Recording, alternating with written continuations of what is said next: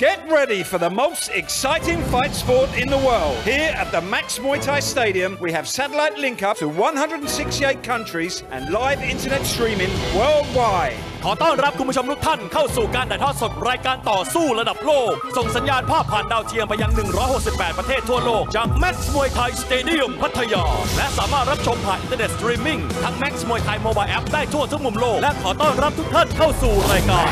มวย และพบกับพิธีกรเบียร์แม็กซ์มวยไทย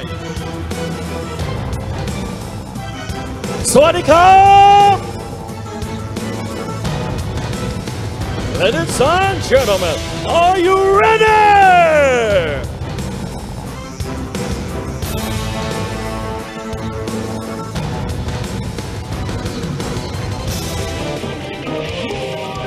Good evening, ladies and gentlemen. Welcome to the most exciting fight sports in the world. Live broadcasting from Max Muay Thai Stadium in Pattaya. I'm your host, Beer Max Muay Thai, and this is Muay Thai Fighter. เอาละครับกราบสวัสดีพี่น้องแฟนมวยทั่วประเทศ และกราบสวัสดีพี่น้องแฟนมวยนะครับ ที่รับชมทางระบบออนไลน์สตรีมมิ่งที่อยู่ทั่วทุกมุมโลก ขอต้อนรับเข้าสู่สุดยอดรายการกีฬาต่อสู้ที่มันที่สุดในโลกถ่ายทอดสดจาก Max มวยไทย Stadium ที่พัทยาแห่งนี้ครับออกอากาศทางช่อง 9 m c o t HD หมายเลข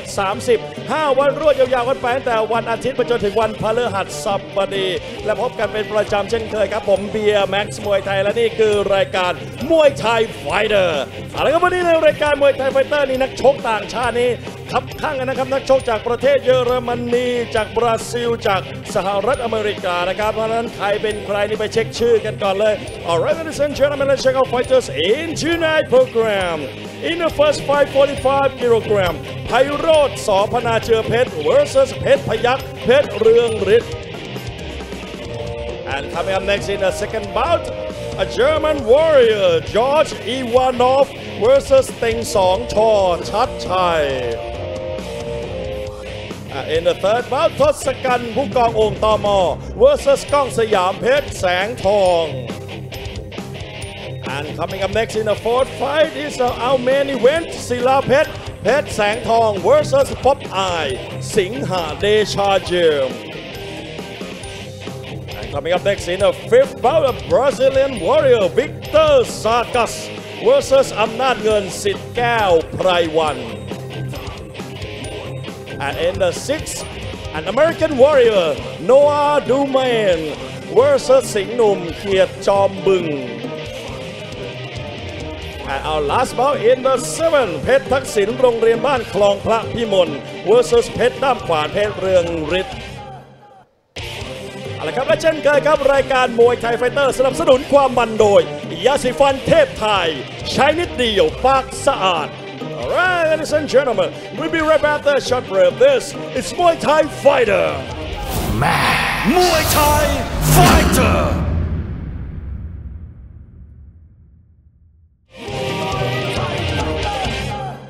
Ladies and gentlemen, welcome back to Muay Thai Fighter. And now let's start our first bout. เอาละครับคุณผู้ชมครับมาเริ่มกันเลยกับมวยคู่แรกของรายการมวยไทยไฟเตอร์กันครับ Alright, ladies and gentlemen, introducing your Thai warrior fighting out of the blue corner. He representing Cha Cheng Sao Province. 16 years of age training at Saw, Tep Raksa Gym. Ladies and gentlemen, let's hear it for Pairot Sopana Jupet.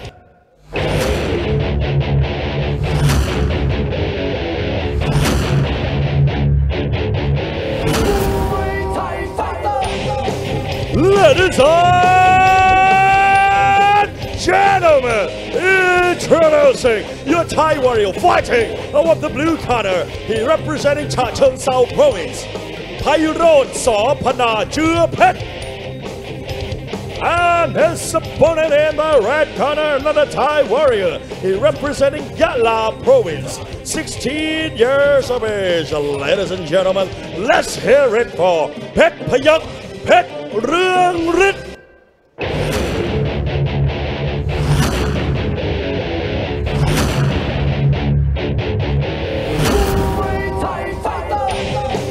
Ladies and introducing your Thai warrior fighting out of the red corner. He representing Yala Province, 16 years of age เพชรพยักเพชรเรืองฤทธิ์สวัสดีครับท่านผู้ชมครับ ขอต้อนรับท่านผู้ชมทุกท่านครับ เข้าสู่ความมันระดับโลก ทางช่อง 9 m c o t HD หมายเลข 30 และนี่คือรายการมวยไทยไฟเตอร์ครับ เป็นประจำครับทุกๆวันจันทร์และอังคาร จากสนามแม็กมวยไทยสเตเดียมพัทยาประเทศไทย และวันนี้ครับตรงกับวันจันทร์ที่ 2 ธันวาคม ความมันระดับโลกนำมาเสิร์ฟท่านผู้ชมเช่นเคยครับ โดยเฉพาะคู่เอกนำรายการในวันนี้ครับมีดีกรีแชมป์มวยรอบของเวทีแม็กซ์มวยไทยอย่างป๊อปอายสิงหะเดชายิมครับ จะเปิดศึกปะทะกับศิลาเพชร เพชรแสงทองจาก57 กิโลกรัมครับ ซึ่งจะระเบิดศึกกันในคู่ทีสี่4 ของรายการ แต่ตอนนี้อยู่บนเวทีกันแล้วครับท่านผู้ชมครับในคู่เปิดหัวพิกัด 45 กิโลกรัมนักชกในมุมน้ำเงินครับไพโรสอพนาเจือเพชรครับ ชื่อจริงชื่อนายปฏิพานเวสุวรรณครับจากอำเภอท่าตะเกียบจังหวัดฉะเชิงเซาในวัย 16 ปี มาชกที่นี่ 2 ครั้ง ชนะรวดและเป็นการชนะรวด ชนะน็อกรวดทั้ง 2 ครั้งอีกด้วยครับสังกัดค่ายมวยสอพนาเจือเพชรครับโดยพันตำรวจเอกพนาเจือเพชรกิษณราชครับ เดิมนั่นก็คือเจ้าไพโรธฟรีระยองครับ ซึ่งวันนี้คู่ต่อสู้ของเขานักชกในมุมแดงครับเพชรพยักเพชรเรืองฤทธิ์ครับ ชื่อจริงชื่อนายฟูกีฟลีอาซูกิลีมามะครับนักชกจากอำเภอยะหาจังหวัดยะลาครับ อายุอานามนั้น 16 ปีเท่ากันครับ ล่าสุดมาชนะคะแนนเตชินสอเพชรธงชัยเอาไว้ครับสังกัดค่ายมวยเพชรเรืองฤทธิ์ครับ ที่จังหวัดยะลาครับ เอาละครับท่านผู้ชมครับ เปิดหัวคู่แรกกันด้วยน้ำหนักพิกัด 45 กิโลกรัมลางซาลีลานั้นต้องบอกว่าทางด้านนักชกในมุมแดงครับเป็นพยักอาจจะได้ลอยกว่าเล็ก ๆ ครับ เป็นดาวรุ่งจากสองภูมิภาคครับภาคกลางกับภาคใต้ครับกับซ้ายกับขวาครับประเดิมมวยคู่แรกในวันนี้ไทโรนประเภทสายอาชีพครับ มาโชว์ฟอร์มเด็ดๆสองไฟต์ติดๆด้วยกัน ช่นเดียวกับทางด้านเพชรพยักษ์ก่อนหน้านี้ก็มาประเดิมได้หรูเลยครับกำปั้นขวาจากเพชรพยักษ์ครับนะครับพยายามจะกดแขนเอาไว้ เสียบกระทุ้งก่อนครับนี่ครับ จังหวะที่ไพโรนเลาะเลาะหาเหลี่ยมครับโดนเพชรพยักษ์เสียบขวาตรงๆเข้าไปนะครับมาหาจังหวะช่วงจริงกันต่อครับ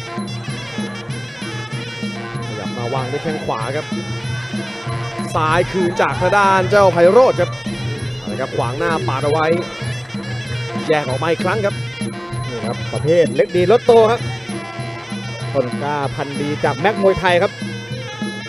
แปดริ้วเจอกับยะลาเดี๋ยวจะขยับเดินหน้าทิ้งด้วยหมัดหนึ่งสองเอาครับซ้ายอีกครั้งครับทางด้าเจ้าไพโรธครับยืนกันคนละกาดจังหวะจับทางครับถีบเข้าบริเวณหน้าขาครับไพโรนนี่มีความจุกจิกโอ้ยิงหมาซ้ายเข้าไป ล็อกในได้เพชรพยักแหกขวางได้ครับเพชรทางนั้นไพโรดยังตีกันไม่ได้ครับหาช่องไม่เจอเอาละครับเดินหน้าวางแข้งครับ เจอซ้ายเตะซ้ายต่อยซ้ายเอาละครับพยายามจะเดินหน้าแต่เวียงหมัดยังไม่ถึงกับจังหวะตามของทางด้านเจ้าไพโรธครับนี่ครับแข้งขวาจากเพชรพยักครับเตะได้แล้วล็อกได้ทันทีครับเพชรพยักเสียบเข้าไปหาจังหวะเสียบซ้ายตามเข้าไปครับเพชรพยักนะครับ หน้ากระชับพื้นที่เข้ามาอีกครั้งครับถีบนำเข้ามาวางขวาอ้าวอ่าโดนหมัดมีอาการแกว่งครับทางด้านเจ้าเพชรพยักษ์ครับ แต่ว่ากัดฟันสวนเข้ามาขวางหน้าเสียบด้วยซ้ายอีกทีครับทางด้านไพโรธเห็นอาการเห็นจังหวะที่แกรีบเข้าทำเลยครับ เพราะว่า 2 ไฟต์ก่อนนั้นชนะน็อกในยกแรกทั้ง 2 ไฟต์ติดต่อกันเลยครับ เป็นมวยที่อาวุธคมครับทางด้านไพโรดนี่นะครับสายเตรียมทำการอีกครั้งครับจ้วงเข้ามา แทงซ้ายตามเข้าไปครับไพโรดครับขวางหน้าไว้ครับทางด้านไพโรธ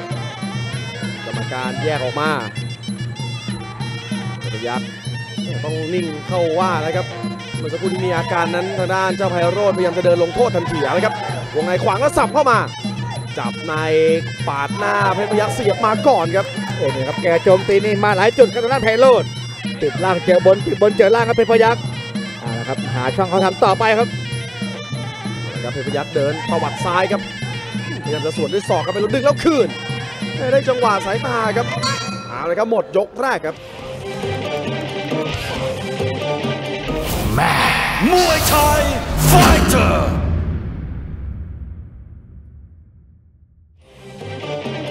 เอาละครับท่านผู้ชมครับ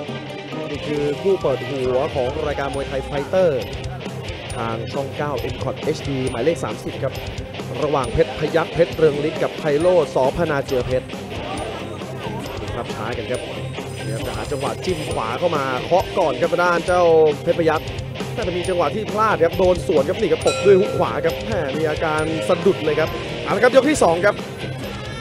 มาลุยต่อครับยกที่สองยกแรกก็สนุกแล้วครับ มาชมความมันกันต่อในยกที่สองสายมาก่อนครับไพโรด พยายามเตะใส่แล้วฮุกด้วยขวาครับวัดระยะเดินหน้าเข้าหาสาดเข้ามายังโดนทีบครับเอาละครับ ยกกาดสูงไว้ก่อนเลยครับทางด้านเจ้าไพโรธแต่การเติมเกมเพชรพยักษ์นี่ยังติดติดขัดขัดครับจ่อซ้ายเข้าไปซ้ายขึ้นมาจากทางด้านไพโรดนิ่งครับจังหวะสองค่อนข้างดีนี่ครับอ่าสายเนียนเนียนๆครับจากไพโรธเอาละครับขวาคอพยายามจะขวาง แต่ว่าเป็นพยักไปเอียงข้างครับทำให้ตีไม่ถนัดครับยังต้องหาช่องหาจังหวะให้เจอครับทางด้านเพชรพยักษ์เหลี่ยมเชิงจังหวะวงนอกนี่ดูว่าสปีดจะตกเป็นรองเล็กน้อยครับไล่เลยครับด้านเพชรพยักวางขวาไม่ถึงโรธดักจังหวะสาดซ้ายอาละครับการดึงจังหวะ ต้องบอกว่าคุมเกมได้ดีครับจะถึงสายเข้ามาแล้วเสียบ และดูวงในแกขวางหน้าครับ แข็งแรงจริงๆครับมีครับมีคำพีในการโจมตีครับนอกก็ขยันโบไหนก็มีขยันเสียบข้างด้านไพโรดครับเพชรพยักขยับเติมข้าหานะครับซ้ายคืนมานะครับพยายามจะเติมเกมต่อเนื่องครับขวาของทางด้านเจ้าเพชรพยัคฆ์เจอซ้ายของไพโรธครับเกี่ยวมาพยายามจะกวาดล่างไม่ลงครับนี่ครับเกมเริ่มบีบหัวใจครับเพชรพยักเดินหน้าลุยต่อไล่ตีไปที่มุมกลางครับค่อยๆเดินทางเข้าหาเดินเข้าไปไพโรดจะมีความนิ่งพอครับ ซ้ายหน้าเจอซ้ายคืนพยายามจะหวดมาอีกครั้งครับนะครับวงในเกาะไว้ตีทำอะไรได้ไม่ถนัดครับแยกออกมาอีกครั้งครับมาเริ่มเกมกันใหม่ครับกรรมการปรับมือต่อก็เป็นเพชรพยักษ์ครับเพชรพยักษ์ค่อยๆเดินก้าวเข้าไปสายเข้าไปครับแหกก็ยังติดบังประวัติมาอ้าวยังโดนเฉียงอยู่ครับวัดระยะมาพยายามจะเติมด้วยซ้าย ไล่ตอนเข้ามาวางขวาไม่แม่ไม่ถึงกับหลุดครับเดินทีมาเสียหลักเสียทรงครับทางด้านเพชรพยักษ์เดินเข้ามาใช้หมัดมาเติมอ่าแล้วแข้งซ้ายเข้ามาเริ่มตามเป้าเจอครับนะครับถึงด้วยหมัดพยายามจะสาวด้วยหมัดนะครับทางด้านเพชรพยักษ์แต่ดูครับพอหลวมเข้าในก็โดนลูกขวางหน้าเนี่ยครับซึ่งทางด้านเจ้าเพชรพยักษ์นั้นยังแก้ไม่ได้ขึ้นบนไม่ได้เพชรพยักษ์ยังต้องหาช่องทางต่อไปครับสายครับอ่าลูกนี้เสียเหลี่ยมเหมือนกันครับทางด้านไฟโรดโดนเด็กเอียงไปเอียงมาอ่าครับมาวางแข้งซ้ายโต้ขึ้นมา เข้ามาจับในอีกครั้งครับทางด้านเพชรพยักษ์ถ้าจะคิดช้าทำช้านี่ไม่ได้ครับไพโรดแกมีจังหวะค่อนข้างเร็วครับ ระบบการตัดสินใจดีครับทางด้านไพโรดนะครับเดินหน้าต่อครับซ้ายมาเกี่ยวไว้ทิ้งด้วยหมัดเอาหลุดเอ่อหมดยกที่ 2 ครับ Muay Thai Fighter เอาละครับท่านผู้ชมครับในช่วง ยกสุดท้ายที่มันจะเกิดขึ้นระหว่างเพชรพยักษ์และไพโรดครับเปิดหัวคู่แรกของรายการมวยไทย Fighter กับทางช่อง 9 m c o t HD หมายเลข 30 ซึ่งท่านผู้ชมครับ 5 วันรวดจากทางช่อง 9 m c o t ครับ ตั้งแต่วันอาทิตย์ยาวไปกันจนถึงวันพฤหัสบดีเลยครับ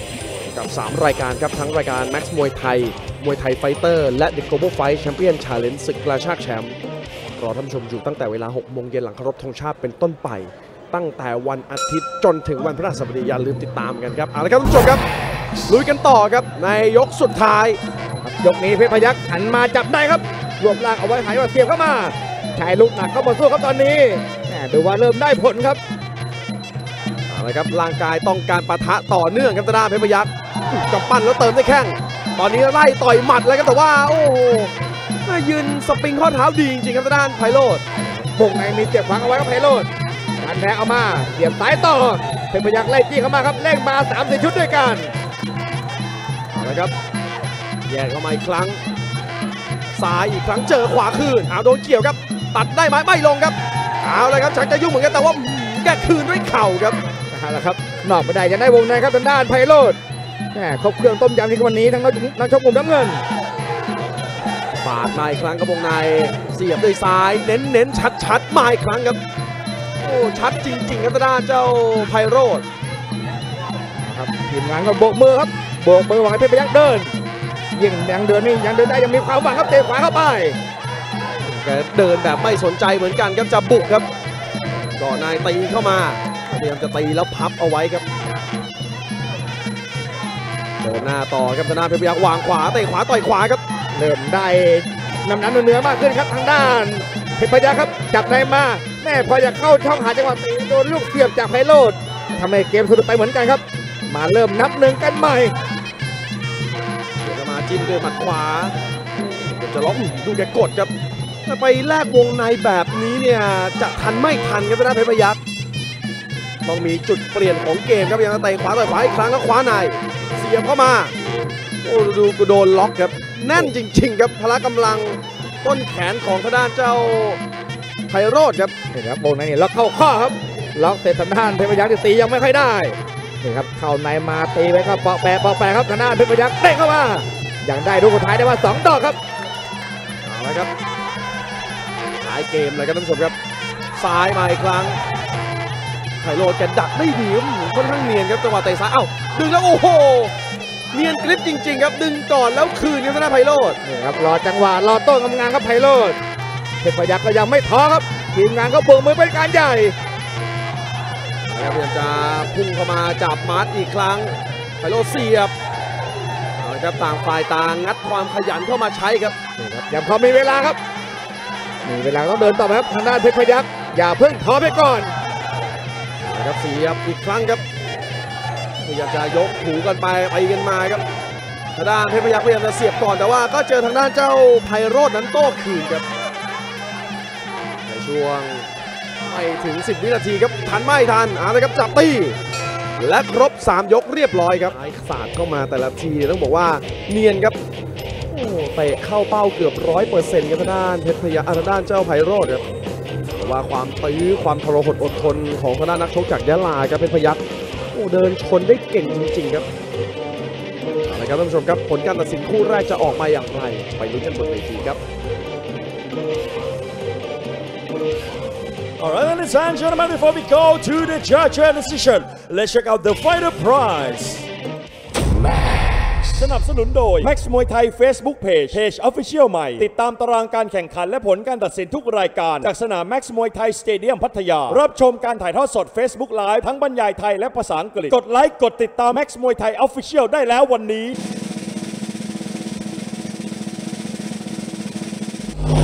No prize. Max Muay Thai Facebook page. All right, ladies and gentlemen, of the three rounds of actions, we go to the judges' scorecard for the winner! Blue corner, Pyrot Sopada, Jua Pet.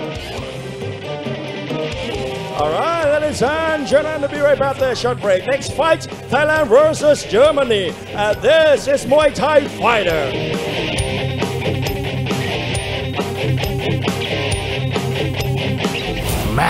Muay Thai Fighter!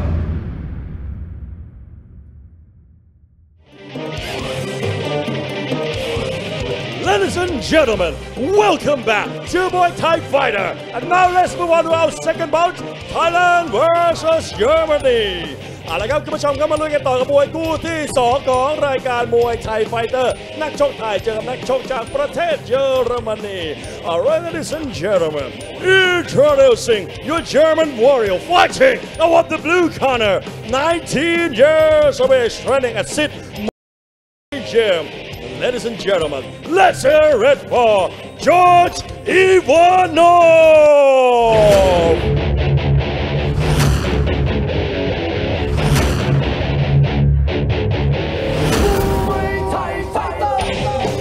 Ladies and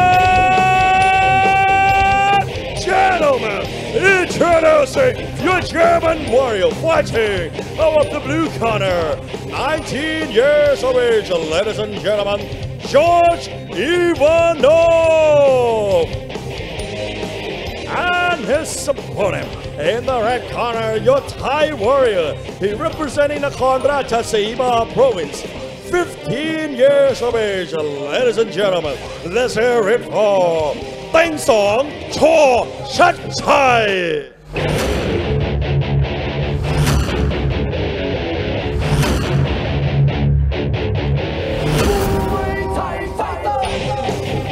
Ladies and introducing your Thai warrior fighting out of the red corner. He representing the Rajasima province. 15 years of age, ladies and gentlemen. Let's hear it for Teng Song Cho Chat Chai. กลับมาลุยกันต่อท่านผู้ชมครับในคู่ที่ 2 ของรายการนั้นเป็นการเจอกันระหว่างนักชกไทยกับนักชกจากเยอรมนีครับนักชกในมุมน้ำเงินจากประเทศเยอรมนีพิกัด 67 กิโลกรัมครับ จอร์ดอีวานอฟครับนักชกในวัย 19 ปีเท่านั้นครับจากประเทศเยอรมนี สังกัดค่ายมวยสิทธิ์มนชัยครับที่จังหวัดกาญจนบุรีครับ วันนี้นำทีมมาด้วยตัวเองเลยครับสำหรับทางด้านคุณเอสิทธิ์มนชัย ส่วนทางด้านนักชกมุมแดงครับเต็งสองชอชัดชัยกับนายภูวนัยวุฒวงศ์ครับ จากอำเภอเฉลิมพระเกียรติ จังหวัดนครราชสีมา ปัจจุบัน 15 ปีเท่านั้นครับ ฝากผลงานเอาไว้ใน 3 ฟอร์มหลังแพ้ 2 ชนะ 1 ล่าสุดชนะเทคนิคน็อกเอาท์ฟิลิปโปแพนทานิด้าจากอิตาลีเอาไว้ครับ ก็ถือว่าเป็นนักชกที่เป็นมือรับชาวต่างชาติเลยครับทั้งเบลเยียม อิตาลีมาจนถึงวันนี้เนี่ยเจอกับนักชกจากเยอรมนีครับ ส่วนใหญ่เป็นขอจองคิวชาวยุโรปครับสังกัดค่ายมวยชอชัดชัยนะครับสำหรับทางด้านเต็งสองเด็กหนุ่มวัยเพียงแค่15 ปีครับ เต็งสอง รูปร่างนี่โตเร็วเหลือเกินครับนะครับคุณชัดชัยหอรบันครับ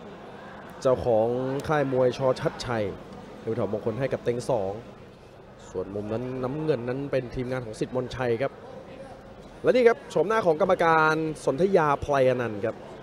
ผู้ชี้ขาดสำหรับเกมการชกในคู่นี้เอาละครับยกที่หนึ่งครับพิกัด 67 กิโลกรัมระหว่างไทยครับมุมแดงกับเยอรมนีในมุมน้ำเงินครับ ปิดฉากทักทายก่อนครับทางด้านจอร์ดมีหมัดเข้ามาเติมก่อนนะครับมีเสียงมีลุ้นที่หมัดก่อนครับทางด้านทีมงานจากสิบมนชัยสั่งเดินมาครับล้วงลำตัวครับเอาละครับ เดี๋ยวดูจากสไตล์สิทธิ์มนชัยในส่วนใหญ่แฟนมวยหลาย ๆ คนทราบดีเลยครับว่าเป็นประเภทเจาะยางกว้างกระจกครับนี่ครับติวเข้มมาจากค่ายครับอืมบวกหมันบวกสองสู้กับเต็งสองไม่กลัวเหมือนกันครับทางด้านเต็งสองก็เป็นประเภท ชื่นชอบอยู่แล้วครับในประเภทการบู๊การบุกครับเอาละครับเดินหน้าโดนทุกซ้ายเลยครับซ้ายหน้าของทางด้านเต็งสองแล้วเติมด้วยแข้งขวาเล่นอาวุธยาวเข้าไปก่อนครับเต็งสองอย่างม่เน้นวงในครับหุกสายสั้นๆมานี่เอาหมัดขวาครับ แล้วสวนอีกแล้วครับหมัดหนึ่งสองของทางด้านจอร์สครับค่อนข้างที่จะออกได้แมั่นยำครับหมัดกำปั้นหนึ่งสองครับนะครับวงในกดแขนเอาไว้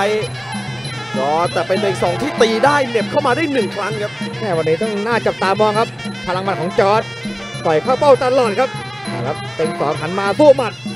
ต่อยเสร็จล็อกบนหาจังหวะหาจังหวะตีเข่าครับล็อกในมาได้เข้าไปเอาละครับกดแขนผลักเลยครับ ไม่เล่นด้วยเลยครับด้านจอร์ดเอาเกมวงนอกที่ตัวเองถนัดเข้าว่าครับได้งานไปที่ฐานล่างแล้วสาวด้วยหมัดครับโอ้ยเอียงไปเอียงมาครับเต็งสองโดนเข้าไป เริ่มจะออกอาการไม่ดีครับเวลาโดนหมัด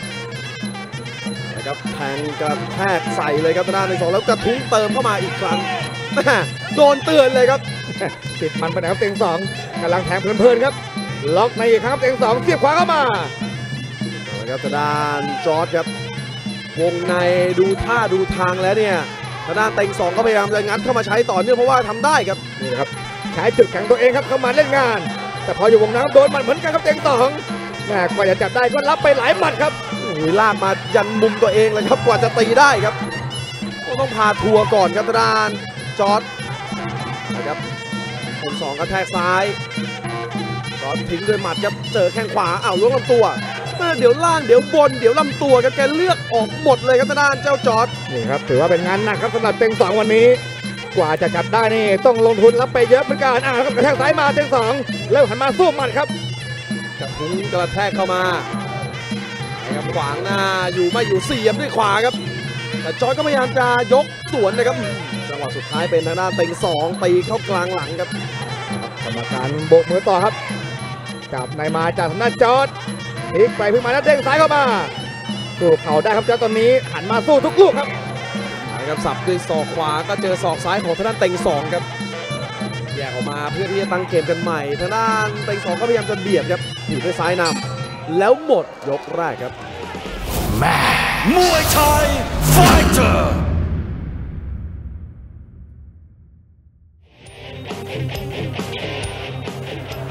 โอ้ท่านผู้ชมครับ character ของศิษย์มนต์ชัยนั้นยังคงไว้เนื้อเชื่อใจได้เสมอครับจังหวะเจาะยางขว้างกระจกครับของทางด้านจอร์ดอีวานอฟครับจากประเทศเยอรมนีนะครับค่ายมวยศิษย์มนต์ชัยในมุมน้ำเงินกับนักชกไทยครับ เต็งสองชอชัดชัยอืมสับขวาเข้ามาก่อนครับศอกของทางด้านเต็งสองดูครับจังหวะแจกหมัดเข้ามาอีกทีครับ เจอขวาทันทีอืมหมัดหนึ่งสองไล่กระทุ้งเลยครับทางด้านจอร์ดเอาเลยครับยกที่สองครับเอาละครับแม่ยกแรกนี่พิษสงมาทางด้านจอร์ดนี่ไม่ธรรมดาครับพยายามมุดซ้ายปลายขวาไปก่อน ยกแรกมายกสองมาเริ่มขึ้นมาครับเต็งสองต้องเดินเร็วขึ้น ยกการสูงๆแล้วหาจังหวะขวาครับ หลวงท้องครับอื้อหือ ตัดเข้ามา จังหวะหุกซ้ายครับ แล้วโดนทางด้านเตะสองขวาขอตีนะครับวงในเป็นของนักชกไทยเช่นเคยครับหันมาสู้นะครับทางด้านเต็งสองโด่งหน้าไว้ใจไม่ได้ครับ แต่ก็ต้องบอกว่าเป็นโจทย์ที่ต้องแก้กันให้ได้เพราะว่ากว่าจะถึงตัวนั้นทางด้านเต็งสองก็โดนหมัดครับนี่นะครับทุกอย่างต้องมีการลงทุนครับอ้าวแทงขวาเข้ามาครับทางด้านเต็งสองมุดในเต็งซ้ายเข้าไปลุ้นวงในลุ้นแล้วครับนาทีนี้ นะครับจอร์ดกระแทกซ้าย แล้วสับด้วยศอกขวา แต่ว่าเต็งสองนี่แหละครับ ลงทุนก่อนครับแล้วพยายามจะลากมาตีไม่ได้ครับหาจังหวะอยู่ครับ เอาโดนผลักเลยครับนี่นะครับแต่งตัวหนักครับทางด้านเต็งสองโดนมันเหมือนกัน เริ่มโดนครับเต็งสองขวาในเอามาเด้งซ้ายเข้าไปโอ้แกก็ปีนป่ายไปเรื่อยแหละครับทางด้านเต็งสองแต่ว่าเอ้ยยังยกช้าอยู่ครับเอะไรครับนี่ครับไม่ยกเนี่ยก็โดนหมัดครับวางได้แข้งเติมเข้าไปครับจอร์ดนี่นะครับจอร์ดมาสู้ใหม่ครับ ล็อกในสู้เต็งสองแทงซ้ายแล้วคาเอาไว้ครับ แทงแตะแทงเน็บเข้ามาไล่ต้อนต่อครับล้วงลำตัว พยายามจะล็อกคอครับผลักอีกครั้งนะครับสับด้วยศอกซ้ายครับด้านเต็งสองจอดงับศอกทัดมาลาเข้ามาครับระยะประชิดมีฟันต่อยครับเต็งด้านจอดเอาละครับเริ่มมีความหลังในการโจมตีครับจอดนี่ครับฟันซ้ายฟันขวาเข้าไปไปครับเต็งสองโดนเสยอัปคัตอีกแล้วครับโอ้แล้ว โดนหมัดในยแกมีอาการครับทางด้านเต็งสองนะครับรวบเอวเอาไว้ตีด้วยขวาแปะครับนี่ครับกว่าจะตีได้ไม่ใช่งานง่ายครับเต็งสองรับไปก่อนทุกทีปาดหน้าเสียบ จอร์ดเอาคืนครับวงในพยายามจะทัดขึ้นมา ตีด้วยซ้ายครับเอาละครับแยกออกมาอีกครั้งครับทางด้านกรรมการสนธยานี่ครับตีได้เมื่อไหร่กับแฟนมันก็เฮฮาครับแต่ปัญหาอยู่ที่ว่ากว่าจะจับได้ไม่ใช่งานง่ายจริง ๆ ครับวันนี้จอร์ดมีตับต่อเข้าไปครับ ตับต่อมาเต็งสองได้เข้าซ้ายโอ้ยังคงนัวเนียนะท่านผู้ชมครับตื้อกันจริง ๆครับนะครับศอกของทางด้านจอร์ดครับ ขวางหน้าเสียบเป็นของทางด้านเต็งสองแล้วบิดมาตีด้วยขวาอีกทีนะครับไปพลาดครับลูกนี้จอร์ดโดนเข่าเข้าไปแทงอีกตั้มแทงมาทีนี้ครับทางด้านเต็งสองเล่นเกมมาในช่วงปลายยกครับกอดรัดฟัดเหวี่ยง พยายามจะชวนตื้อชวนทะเลาะครับทางด้านเต็งสอง แต่ว่าจอร์ดครับยังคงอันตรายครับนี่ครับกำปั้นอีกแล้วโอ้แต่ว่ายังไม่หล่นทั้งคู่ครับทนดีเหลือเกินครับเอาละครับ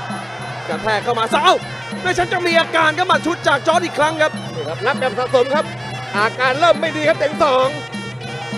เอาละครับวางด้วยแข้งขวาแล้วทิ้งด้วยหมัดส่งท้ายหมดยกครับ Muay Thai Fighter ต้อง บอกว่าตรึงเครียดเลยครับเพราะว่าในช่วงท้ายเกมเมื่อสักครู่นี้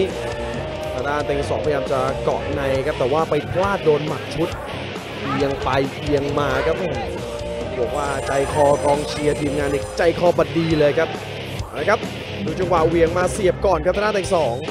ในช่วงท้ายเกมครับอย่างที่เรียนเลยครับดูหมัดชุดครับ โอ้แจกได้ดีครับทางด้านนักชกจากเยอรมนีเอาละครับสามนาทีสุดท้ายครับนี่นะครับเปิดฉากมาในเต็งสองคว้าในได้ครับ คว้าในได้แต่วันนี้ไม่ใช่งานง่ายนะครับกว่าจะตีได้ โดนลูกจุกจิกจากทางด้านจ้าเข้าไป ได้มาหนึ่งดอกครับทางด้านเต็งสองล็อกต้องล็อกให้เหนียวเกาะต้องเกาะให้ได้ให้จริงครับเพราะว่าไม่งั้นจอร์ดก็พยายามจะขวางแล้วเสียบคืนและสำคัญก็เดี๋ยวมีหมัดครับนี่นะครับแม่อาวุธเติมเยอะเหลยครับจอร์ดไม่ได้มีแต่เขาอย่างเดียวอ้าวลูกนี้ต่อยขวาเข้าไป โอ้โหน้ำกระจายครับทางด้านเจ๊งสองเอาละครับมัดแล้วตีด้วยซ้ายครับจอร์ดเต็งสองเอาคืนครับ โอ้นี่แหละครับยังเข้มข้นอยู่ครับ เกมยังเปิดครับเต็งสองวิ่งเข้ามา จับได้ทางด้านจอร์ดก็หันมาสู้เข่าครับเสียบซ้ายเข้าไปครับนาทีนี้ไม่กลัวศักดิ์ศรีทางด้านในช่วงมุมแดงครับสู้ทุกลูกเหมือนกันครับจอร์ด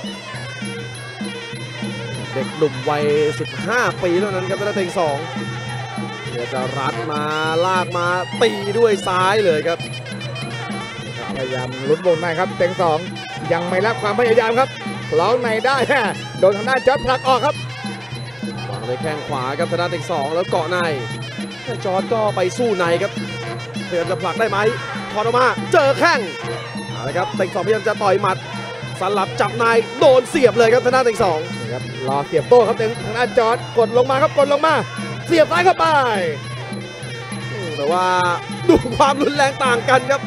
วงในและของถนัดอยู่แล้วครับจากทางด้านนักชกไทยโอ้นี่นะครับออกอาการสะอึกครับทางด้านจอร์ดเสียบบ่อยๆไม่ดีครับอย่ารับแบบสะสมครับจอร์ด เริ่มจะยืนตัวตรงครับตอนนี้ โอ้นิ่งครับเอาละครับจอร์ดโดนสองเข่าเนี่ยที่คมคมๆชัดๆไปเนี่ย มีอาการยืนนิ่งครับแต่ว่าตอนนี้พยายามจะขวางหน้าสู้ต่อครับแค่ได้ใจครับทางด้านเต็งสองเล่งเกมขึ้นมาครับ พยายามเดินต่อครับเต็งสองมาแล้วงัดศอก จอร์ดงัดเข้ามาซ้ำครับโอ้ ตอนนี้ต้องบอกว่าโดนไปเยอะเหมือนกันครับต่างฝ่ายต่างเจียนอยู่เจียนไปนี่ครับอยู่ที่หัวใจครับตอนนี้เป็นเกมวัดใจครับเต็งสองโดนหมันล้วงล่างทางตัวขึ้นเล่นขึ้นมาจอร์ดไล่จี้ต่อครับเน้นหมัดมาสู้โอ้นี่ครับแล้วขวางเลยครับเอาละครับท้ายเกมครับพยายามจะทีบนำแล้วขวาจอตีก่อนครับกระชากมาเสียบด้วยซ้ายในสองไม่ดูยังช้าลงแล้ว ดูครับจับได้ก็ไม่ตีอีกด้วยครับจังหวะสุดท้ายครับปล่อยให้ทางด้านจอร์ดแกเสียบเข้ามาครับเดี๋ยวได้โอกาสครับเต็งสองจับได้แต่ไม่ตีดีไม่มีประโยชน์ครับ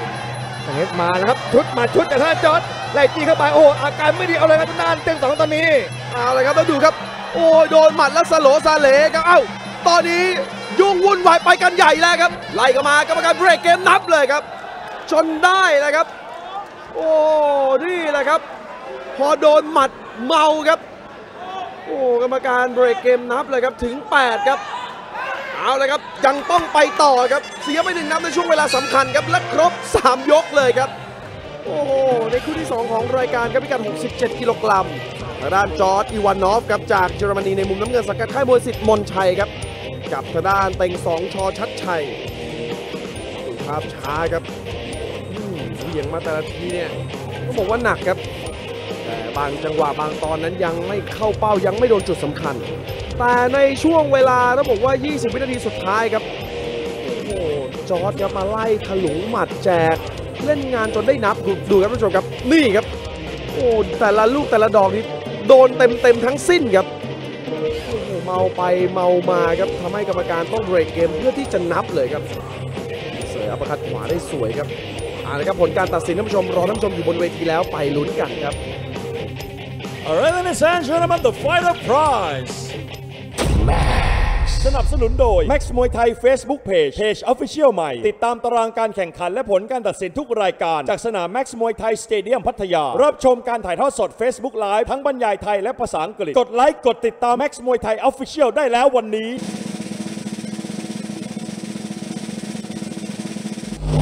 No prize. Max Muay Thai Facebook page. Alright, ladies and gentlemen, of the three rounds of actions, we go to the judges' scorecard for the winner. Blue corner, George Ivanov. Alright, ladies and gentlemen, we'll be right back there, shot break. This is Muay Thai Fighter. มมวยไทยไฟเตอร์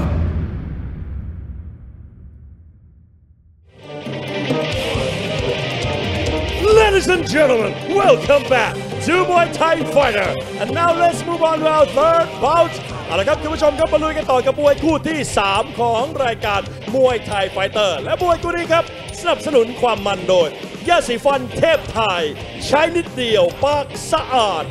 Alright, ladies and gentlemen, introducing your Thai warrior fighting out of the blue corner. He representing Chonburi province. 20 years of age, ladies and gentlemen. Let's hear it for ทศกัณ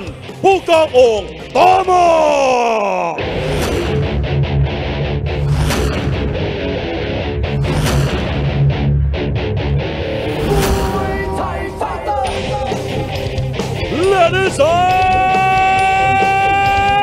gentlemen, introducing your Thai warrior fighting out of the blue corner. 20 years of it, ladies and gentlemen, Hotsakan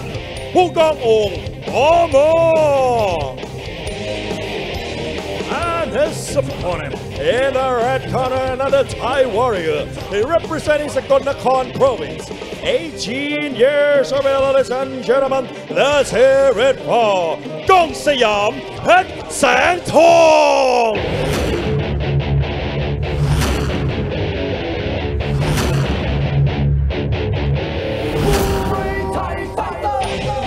Ladies and gentlemen, introducing your Thai warrior fighting out of the red corner. He representing Sakonnakhon province. ก้องสยามเพชรแสงทองและตอนนี้เราเดินทางมาถึงคู่รองของรายการท่านผู้ชมครับ พิกัด 61 กิโลกรัม นักชกในมุมน้ำเงินนั่นก็คือทศกัณฐ์ผู้กองโอ่งตอมอครับ หรือว่าเดิมนั่นก็คือพลังพลผู้กองโอ่งตอมอครับ ชื่อจริงชื่อนายทรงพลโยมภูเวียงครับ จากอำเภอเมืองจังหวัดชลบุรีในวัย 20 ปี ก่อนหน้านี้มาชนะน็อกนัทชัยเล็กสอการชนะเอาไว้ครับกับชายมวยผู้กองโอ่งตอมอครับ ส่วนทางด้านนักชกในมุมแดงครับก้องสยามเพชรแสงทอง นายนัทการพลดีครับจากจังหวัดสกลนครในวัย 18 ปี 3 ฟอร์มหลังแพ้ 2 ชนะ 1 เพิ่งจะมาแจ้งเกิดได้ในไฟล์ล่าสุดนั่นก็คือการเอาชนะเทนิคน็อกเอาพยักเล็กสอชั้นเชิงครับ จากค่ายมวยเพชรแสงทองครับที่จังหวัดยะโสธรวันนี้เนี่ยค่ายมวยเพชรแสงทองนั้นส่งเข้าประกวด 2 รายครับกองสยามนี่เป็นรายแรก ส่วนรายถัดไปนั่นก็คือศิลาเพชรเพชรแสงทอง ซึ่งจะเจอกับป๊อปอายสิงหาเดชายิมเจ้าของแชมป์มวยรอบจากเวทีแมตช์มวยไทยครับ ในคู่ถัดไปเอาเลยครับแต่ตอนนี้ครับท่านผู้ชมครับเทียบสรีระสัดส่วนส่วนสูงนั้นใกล้เคียงครับ และได้กรรมการดรนาคินคำศรีครับเป็นผู้ชี้ขาดเอาลยครับถัดจากคู่นี้ได้ดูแน่นอนครับผู้เอกนำรายการพิกัด 57 กิโลกรัมครับระหว่างป๊อปอายและทางด้านศิลาเพชรครับครับ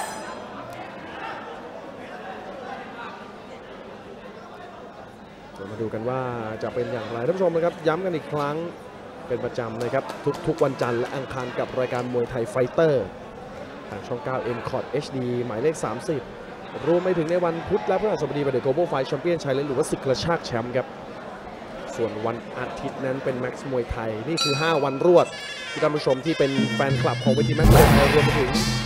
FC ของช่อง 9 M c o t HD หมายเลข 30 ที่จะพลาดไม่ได้ถ้าติดตามกัน 5 วันรวดครับเอาละครับท่านผู้ชมครับผู้รองของรายการบนเวทีครับมาชมกันเลยครับ อาวุธหลักเหลี่ยมสไตล์เขาคล้ายๆกันครับ ประเภทสองการครับซ้ายได้ขวาได้ซ้ายไปก่อนครับทศกัณฐ์ชื่อเดิมก็คือพลังพลครับ อาวุธหลักเหลี่ยมนี่ไม่ธรรมดา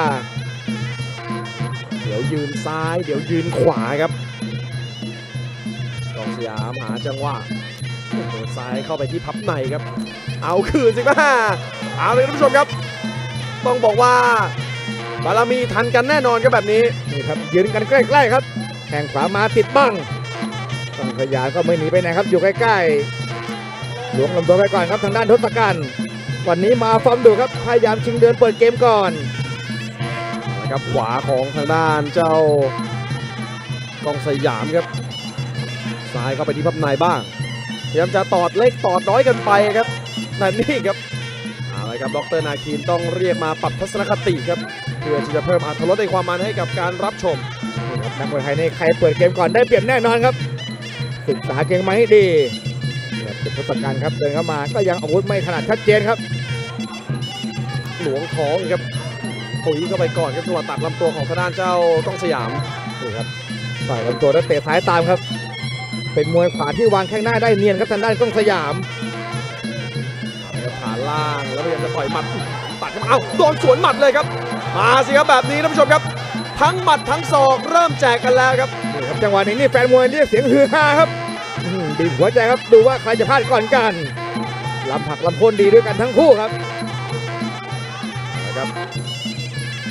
ทำให้กองเชียร์เมื่อสักครู่นี้เนี่ยใจหายใจคว่ำครับโดนสวนหมัดกับศอกครับนะครับทางด้านทศกัณฐ์ครับวันนี้ เปลี่ยนชื่อใหม่เนี่ยจะไฉไลหรือไม่ครับเดี๋ยวดูอ่าแล้วครับกระแทกยับซ้ายไปกล้องสยามสายหมัดขวาโอ้ลูกนี้หล่นครับร่วงคามหมัดครับทางด้านทศกัณฐ์โอ้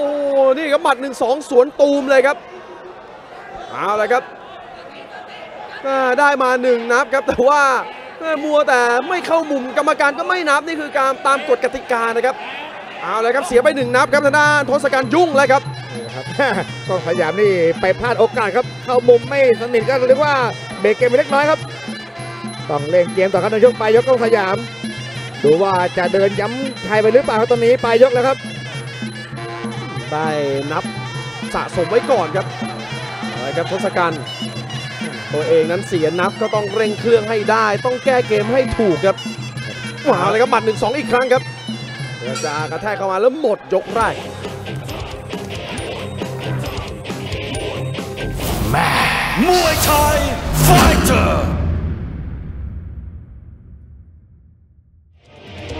โอ้ท่านผู้ชมครับ เกิดเหตุที่ไม่คาดฝันทศกัณฐ์ผู้กองโอ่งตอมอจมกองฟูกไปหนึ่งนับครับ โดนหมัด 1-2 ของธนากองสยามเพชรแสงทองเล่นงานเข้าไป เดี๋ยวดูจังหวะภาพช้ากันครับ เริ่มต้นเนี่ยเป็นทางด้านเจ้าทศกัณฐ์หรือว่าพลังคนเล่นงานมาก่อน แต่ดูครับปั้งเข้าไปครับ โอ้โหหงายท้องตึงเลยครับ เสียนับไปแล้ว แต่ว่าท่านผู้ชมครับ เพียงแค่ยกแรกผ่านไปยังเหลือเวลาอีกเยอะครับมาลุยกันต่อเอาละครับยกนี้เป็นทางด้านทศกัณฐ์ครับหันมาบวกหมัดสู้ ไม่หนีไม่กลัวนะครับ ไม่มีอะไรจะเสียครับนะครับเริ่มแจกจ่ายอาวุธครบมือไล่เลยเอ้าหน้าทางด้านกองแสมบวกเอาละครับต่างฝ่ายต่างมีดี มีของครับครับ จับตาดูให้ดีครับมวยคู่นี้ อาจจะไม่ครบยกครับแม่แลกกันเอาเป็นเอาตายครับนาทีนี้ครับอ่าครับปักด้วยศอกขวา ตบซ้ายเมื่อโดนหมัดอีกแล้วครับ โอ้ทันหลังไปหน่อยครับฮุกซ้ายหน้าขมำเลยครับ โอ้แล้วก็สะใจเหลือเกินทางด้านกล้องสยามครับ โอ้ฮุกซ้ายสวนตูมเดียวครับอ่าหงายท้องตึงเลยครับ โอ้โหนี่ครับ เกมนั้นบีบที่ทำให้ทางด้านทศกัณฐ์นี่ต้องบุกแล้วนะครับ แต่ว่าท่านผู้ชมครับพอเกมบุกกลับกลายเป็นทางด้านเจ้าทศกัณฐ์นี่แหละครับที่พลาดและหลวมครับ ดูนะครับท่านผู้ชมครับจังหวะทิ้งศอกเข้ามาก่อนทางด้านโดยการยิงหมัด แต่ว่ากล้องสยามเล็งอยู่แล้วครับตบเลยครับโอ้ฮุกซ้ายครับดูอีกมุมครับปักศอกขวาเข้ามาครับ สวนเข้ามาอีกครั้ง และจังหวะง้างครับดึงไว้หนึ่งจังหวะแล้วฮุกซ้ายใส่เลยครับโอ้ แม่นกว่าครับทางด้านเจ้ากล้องสยามครับ อีกมุมครับเปี้ยงเข้าไปครับ โอ้ฮุกซ้ายครับเต็มหน้าเลยครับ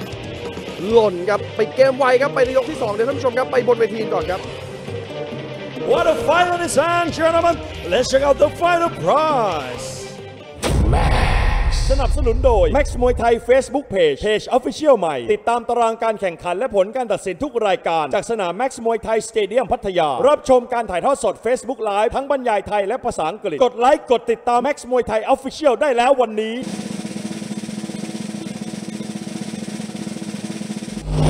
No prize. Max Muay Thai Facebook page. All right, ladies and gentlemen, we have a winner by way of technical knockout red corner. ก้องสยามเพชรแสงทอง All right, ladies and gentlemen, we'll be right back after a short break. Next fight, our main event at this is Muay Thai fighter. Muay Thai Fighter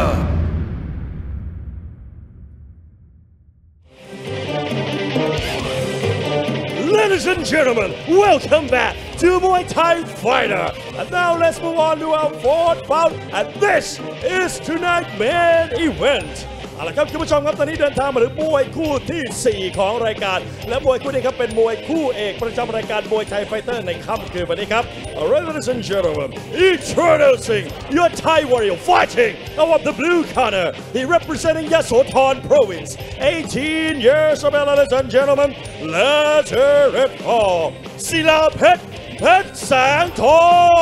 ง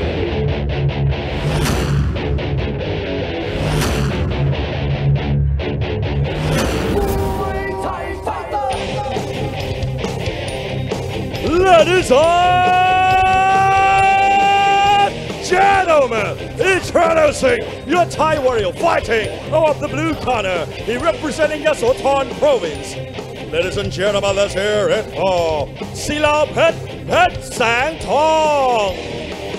And his opponent in the red corner, another Thai warrior, he representing Buriram province. 21 years of ladies and gentlemen, let's hear it for Bob I Singha Deshayim.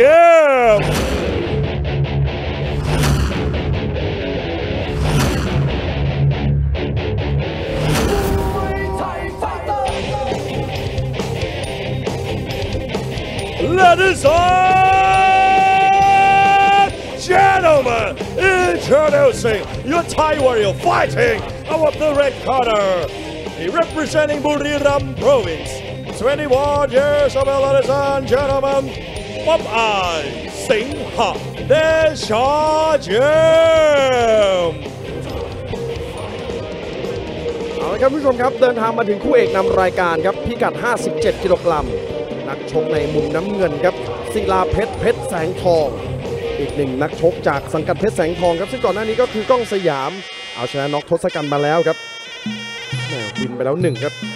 สำหรับค่ายมวยเพชรแสงทอง เหลืออีกหนึ่งครับทางด้าศิลาเพชรชื่อจริงชื่อนายสุทธิชัยดอกคำครับ จากอำเภอมหาชนะชัย จังหวัดยะโสธรในวัย 18 ปี สูงสุด175เซนติเมตรครับ 3 ฟอร์มหลังชนะรวดทั้ง 3 ไฟฟอร์มกำลังสดเลยครับ จากค่ายมวยเพชรแสงทองที่ยะโสธร ส่วนทางด้านมุมแดงครับ ป๊อปอายสิงหะเดชายิมครับ เจ้าของแชมป์มวยรอบพิกัด 58 กิโลกรัมครับ ชื่อจริงชื่อนายทาราเชอรัม นักชกจากอำเภอสตึกจังหวัดบุรีรัมย์ในวัย 21 ปีครับ 3 ฟอร์มหลังชนะ 2 แพ้ 1 ล่าสุดมาสะดุดแพ้น็อกให้กับยักษ์เล็กซิริสุกยิมเอาไว้ครับ ในรายการมวยไทยไฟเตอร์เมื่อวันที่ 22 ตุลาคมที่ผ่านมาต้องบอกว่า fight นั้นเนี่ยโดนเตะก้านคอครับเอาละคเป็รับนดีกรีระดับแชมเปี้ยนของแม็กมวยไทยครับป๊อปอายถือว่าไม่ธรรมดาครับ แต่วันนี้ทั้งนี้ทั้งนั้นก็บอกว่าจะประมาทนักชกจากค่ายเพชรแสงทองไม่ได้คนเดียวจริงครับ แต่ละรายที่ส่งประกวดนี้โอ้โหคุณภาพสอบผ่านตลอดทุกคน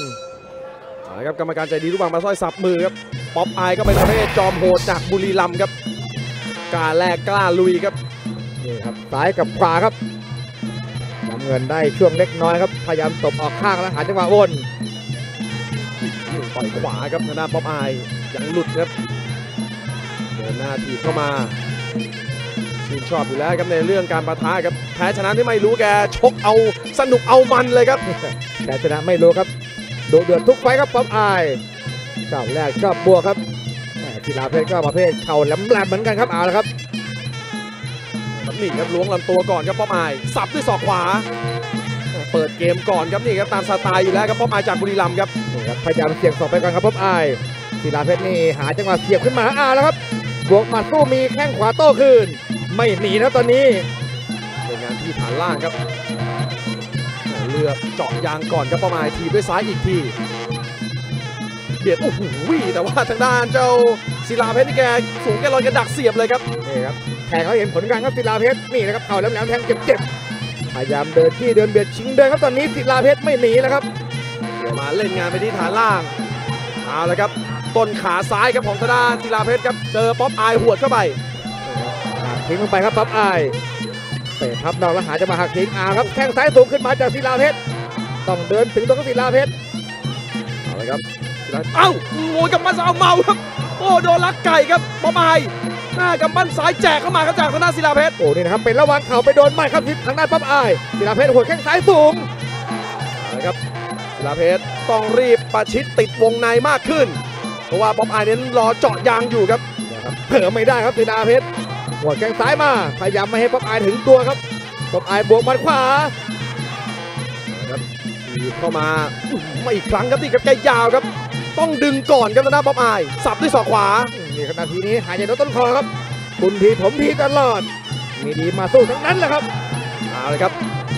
พยายามจะเจาะซ้ำแต่ดูหมัดชุดครับแม่ศิลาเพชรยิ่งโดนยิ่งเดินครับย้ำเข้ามาอีกครั้งครับธนาป๊อปอายนี่ครับมีสับพับนอกตลอดครับป๊อปอาย เผลอไม่ได้ครับพับนอกนี่โดนโจมตีตลอดนี่ครับพยายามจะจิ้มด้วยหมัดขวาสับด้วยงัดด้วยศอกวงในรวบลัดมาแทงด้วยซ้ายอีกครั้งครับธนาศิลาเพชรนี่ครับวางแข้งขวาสู้แต่สูงสู้ครับป๊อปอายเกมเริ่มเปิดครับปยกอ่าแล้วครับใครดีใครอยู่โดนเหมือนกันครับป๊อปอายจังหวะหมัดซ้ายเนี่ยดึงไม่พ้นเอาแล้ววงไอเสียบซ้ายฟันขวาล่วงเลยครับเอาละครับท่านผู้ชมครับ ปิดเกมไวหรือไม่ครับ โอ้กรรมการนับครับ ขึ้นไม่ขึ้นลุกไม่ลุกครับยังนอนแน่นี่ครับศิลาเพชรไม่ไหวครับ โอ้ถึง 10 แล้วครับท่านผู้ชมครับ ปิดเกมไวไปอีกหนึ่งคู่ครับ โอ้โหนี่แหละครับพิชิตศึกไปได้ครับ กลับมาแจ้งเกิดได้อีกครั้งครับสำหรับทางด้านป๊อปไอซิงห์เดชายิม เลือกเล่นไปที่บริเวณต้นขาซ้ายก่อนครับ โอ้โหเดี๋ยวดูนะครับท่านผู้ชมครับ พอพะวงซ้ายครับพะวงต้นขาแม่แกขึ้นบนเลยครับนี่ครับ ปักด้วยศอกก่อนครับหมัดหนึ่งสองแจกเข้ามาป๊อปอายเสียบครับโดนลำตัวแล้วจุกครับ จุกแล้วก็ซ้ำด้วยศอกเลยครับเต็มเต็มๆครับท่านผู้ชมครับสองช็อตนี้ดูครับหมุนเข้ามาเสียบซ้ายครับงอตัวงอครับแกสับซ้ำเข้าไปอีกครั้งครับ ร่วงเลยครับครั้งก่อนแพ้น็อกครั้งนี้กลับมาแจ้งเกิดด้วยการเอาชนะน็อกไปเพียงยกแรกเท่านั้น เหลือเวลาอีก 6 วินาทีครับจะหมดยกแรกครับโอ้เช็คบินไวครับไปบนเวทีกันเลยครับ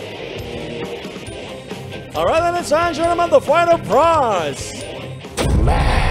สนับสนุนโดย Max มวยไทย Facebook Page Page Official ใหม่ ติดตามตารางการแข่งขันและผลการตัดสินทุกรายการ จากสนาม Max มวยไทยสเตเดียมพัทยา รับชมการถ่ายทอดสด Facebook Live ทั้งบรรยายไทยและภาษาอังกฤษ กดไลค์ กดติดตาม Max มวยไทย Official ได้แล้ววันนี้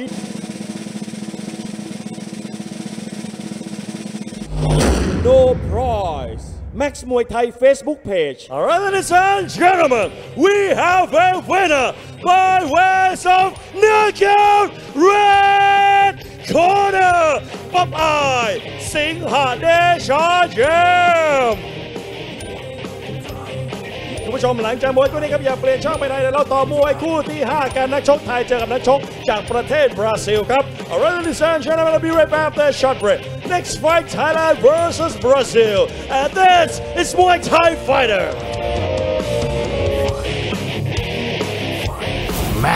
Muay Thai Fighter!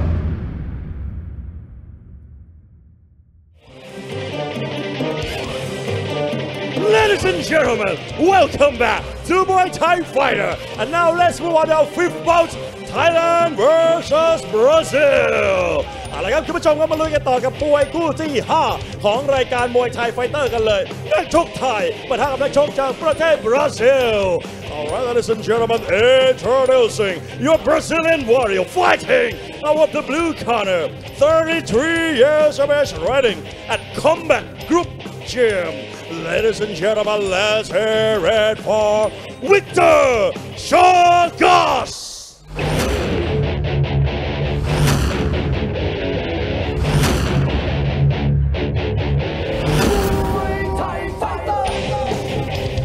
Ladies and gentlemen, introducing your Brazilian warrior fighting out of the blue corner, 33 years of age, training at Combat Group. Ladies and gentlemen, let's hear it for Victor Chagas. And his opponent in the red corner, a Thai warrior, he representing Patalung province. 23 years of age, ladies and gentlemen. Let's hear it for Amnat Gun Sitgao Praiwan.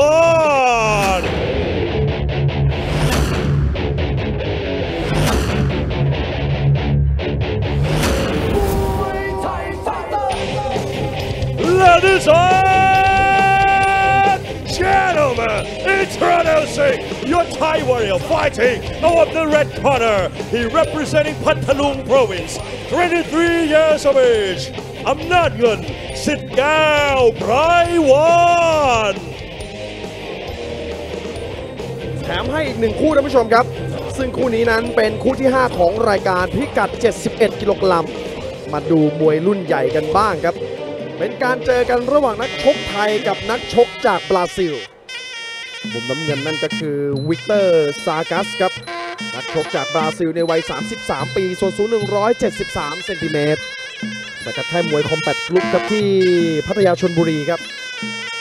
วันนี้ผู้ต่อกรของเขาเป็นนักชกไทยจากแดนใต้นั่นก็คืออำนาจเงิน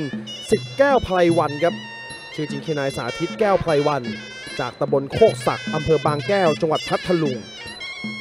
ปัจจุบันนั้น 23 ปีเท่านั้นครับแต่เราบอกว่าอายุอานามอ่อนกว่าถึง 10 ปีด้วยกันสามามาชกที่นี่ 2 ไฟหลังครับ ชนะ 1 แพ้ 1 ครับ จากสิทธิ์แก้วไพวันครับที่จังหวัดชัยภูมิ ล่าสุดนั้นแพ้เทคนิคน็อกเอาท์ให้กับวันเวปออภิสิทธิ์เอาไว้นะครับเดี๋ยวมาดูวันนี้ครับ จะเป็นอย่างไรครับสำหรับทางด้านอำนาจเงินรุ่นใหญ่เลยครับ 71 กิโลกรัมครับ ของหนักของแรงครับวิกเตอร์ซากัสครับ วันนี้ก็มาประเดิมครั้งแรกที่เวทีแม็กซ์มวยไทยครับ ถือว่าเป็นคู่มวยที่น้ำหนักเยอะที่สุดในวันนี้ครับ 71กิโลกรัมครับเอาละครับ เดี๋ยวมาดูกันว่าจะเป็นอย่างไรลืมฟันยางหรือเปล่าครับ โอ้แหม่สะดุดเล็กน้อยครับกำลังจะไปได้สวยๆครับแม่เป็นอุปกรณ์ที่สำคัญครับ ไม่มีไม่ได้ครับฟันยางเอาละครับไม่เป็นไรครับแม่ ใจเย็นๆครับท่านผู้ชมระหว่างนี้ก็ดูบรรยากาศไปกันก่อนครับท่านผู้ชมครับ ก็ถัดจากคู่นี้ก็ยังเหลืออีก 2 คู่ครับระหว่างสิงห์หนุ่มเกียรติจอมบึงกับโนอาดูไมเน่ครับนักชกจากประเทศสหรัฐอเมริกาและปิดท้ายกันด้วยเพชรด้ามขวานเพชรเรืองฤทธิ์กับเพชรทักษิณโรงเรียนบ้านคลองพระพิมลครับเอาละครับมาเลยครับท่านผู้ชมครับ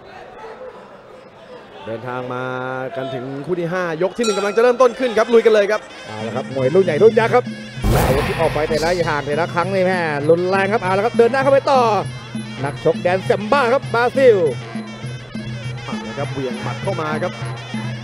ก่อนหน้านี้ก็มีนักชกจากบราซิลที่กำลังโชว์ผลงานได้ดีครับกำลังก้าวขึ้นมาเป็นซูเปอร์สตาร์นั่นคือแดเนียลโมราเลสครับเพื่อนร่วมชาติชาวบราซิลของทางด้านเจ้าวิกเตอร์นี่นะครับวิกเตอร์นี่เดินเข้ามาท่าทีนี่อื้อหือมุ่งมั่นเหลือเกินครับพยายามวิ่งเข้าไปหาพยายามเปิดเกมเข้าไปก่อน แข้งขวาแล้วพยายามจะยิงหมัดครับเอาแหม่ทุบซ้ายทุบขวาแล้วเกี่ยวมาเสียบเลยครับเอ้าโอ้ดึงแล้วคืนนี่ครับเก๋าเหมือนกันครับทางด้านอำนาจเงินเอาละโอ้ยตะไคร้ตะบวกโอ้ยชาร์จลงไปตรงนี้ เต็มเต็มๆครับ โอ้เอาละครับอ่าก็เป๋ไปเป๋มาเหมือนกันครับมันน่านเงินอ๋อนี่ครับต้องดูภาพช้าครับ โอ้ระหว่างนี้ครับอ่าระหว่างนี้เดี๋ยวก่อนครับ เดี๋ยวต้องดูภาพช้าครับว่าอ่าต้องบอกว่ามองกันได้ว่ามีการซ้ำหรือไม่ครับ ไม่ต้องห่วงครับแม็กซ์คนไทยเรามีความที่จะทำให้นักชกทุกคนครับเอาละครับเดี๋ยวรอสักครู่เดียวครับท่านผู้ชมครับ ภาพช้ากำลังมาครับ มาเลยก็ต้องดูดูภาพช้าครับ โอ้โหตอนนี้เดี๋ยวดูจากการพิจารณาครับตบซ้ายมาก่อนเอานี่ครับโอ้โหจะให้มองเป็นอย่างอื่นเนี่ยคงไม่ได้ครับเอาเลยครับดูนะครับจังหวะโดนหมัดแล้วมือแตะโอ้โหช้อนเลยครับ เอาเลยครับ แต่ว่าทางด้านวิกเตอร์แกก็ลุกขึ้นมาแล้วนะครับระหว่างนี้ครับกรรมการสับมือลุยต่อครับเอาละครับมาเริ่มต้นต่อไปครับ เกมดำเนินต่อวิกเตอร์พยายามเดินจี้เข้าหามาละครับทุบเข้ามาครับทางด้านวิกเตอร์ทำได้เดินสับด้วยศอกครับ เมื่อสักครู่นี้อำนาจเงินก่อนที่จะจังหวะบวกนั้นตัวเองก็เมาเหมือนกันครับเอาละครับ จังหวะนี้อ้าวแลกครับแลกแลกเข้ามาครับวิกเตอร์ใต้ตาซ้ายที่มีรอยบวมปูดครับแต่ไม่เป็นไรครับ เกมต้องดำเนินต่อไล่เข้ามาขวางด้วยแข้งขวาครับยิงด้วยหมัดตามแต่เติมตลอดครับทางด้านอำนาจเงิน แต่ว่าเป็นทางด้านวิกเตอร์ที่เป็นฝ่ายบุกครับ จับในเอาไว้แยกออกมาอีกครั้งครับวงในไม่ถนัดครับพยายามสู้ที่วงนอกครับวิกเตอร์เดินหน้าต่อ ค่อยๆคืบเข้ามาหาครับขยับโยกเข้าไปเตะขวามาครับยังพลาดเป้าไล่กระชับพื้นที่ต่อเข้ามาครับทางด้านวิกเตอร์โยกค่อยๆสืบเอาแล้วครับกรรมการสนธยาต้องเบรกเกมเตือนไปที่ทางด้านเจ้าอำนาจเงินที่ตั้งรับเยอะเกินไปครับ โดนเตือนไปแล้วหนึ่งครับ จากนี้ไปถอยไม่ได้ครับอำนาจเงิน ต้องบวกมัดสู้กันเอาละครับ ต่างฝ่ายต่างมีศอกถึงพลิกถึงขลิงครับท่านผู้ชมครับ เอาละครับถูกขวาเอาดึงแล้วคืนดึงแล้วคืนอีกครั้งแล้วเติมด้วยแข้งครับโอ้ค่อนข้างจะคืนได้แม่นครับทางด้านอำนาจเงินวิกเตอร์ไม่สนใจครับบวกได้บวกไปจะเดินเข้าหาสักอย่างครับครับซ้ายอื้อหือเตะแข้งหน้าแต่ว่าโดนหมัดสวนครับนะครับ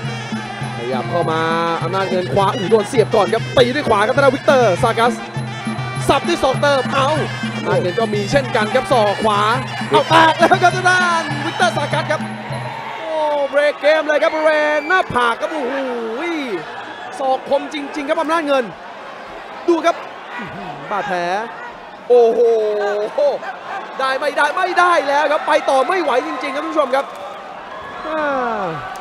คมจริง ๆ ครับศอกของทางด้านอำนาจเงินสิทธิ์แก้วไพลวันครับ ดึงก่อนครับท่านผู้ชมต้องชื่นต้องบอกว่าต้องชมเลยครับว่าคมกริบเลยครับให้ดูภาพช้าหน่อยครับท่านผู้ชมครับ จังหวะดึงก่อนนะครับไปขวามาก่อน จิ้มหมัดตามเข้ามาครับทางด้านเงินศอกขวาฟันมาก็สวนคืนครับแล้วนี่ครับ จังหวะโดนครับจิ้มขวาเติมแข้งด้านนั่นเงินพยายามจะเดินบุกเข้ามาเจอ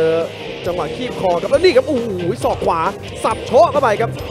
โถมมาทั้งตัวครับแล้วดูบาดแผลครับยาวจริง ๆ ครับ ต้องปิดเกมในจังหวะนี้เอาละครับท่านผู้ชมครับไปบนเวทีกันเลยครับ Alright, ladies and gentlemen, the fighter prize. สนับสนุนโดย Max มวยไทย Facebook Page Page Official ใหม่ ติดตามตารางการแข่งขันและผลการตัดสินทุกรายการ จากสนาม Max มวยไทยสเตเดียมพัทยา รับชมการถ่ายทอดสด Facebook Live ทั้งบรรยายไทยและภาษาอังกฤษ กดไลค์กดติดตาม Max มวยไทย Official ได้แล้ววันนี้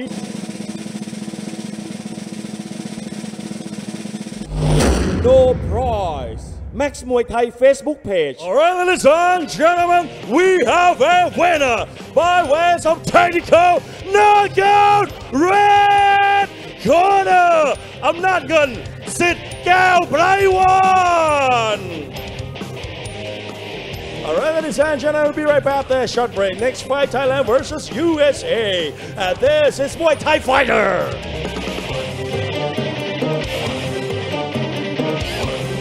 Muay Thai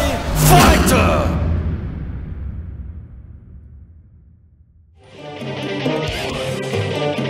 Ladies and gentlemen, welcome back to Muay Thai Fighter. All right, next fight, Thailand versus US of A. เอาละครับคุณผู้ชมครับตอนนี้เดินทางมาถึงมวยคู่ที่ 6 ของเราซึ่งรับชมกันทาง Facebook Live นะครับ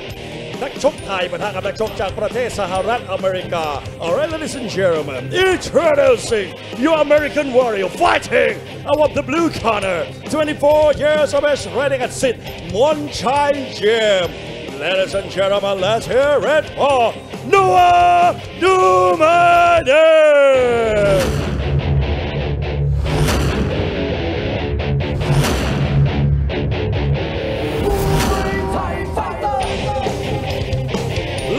And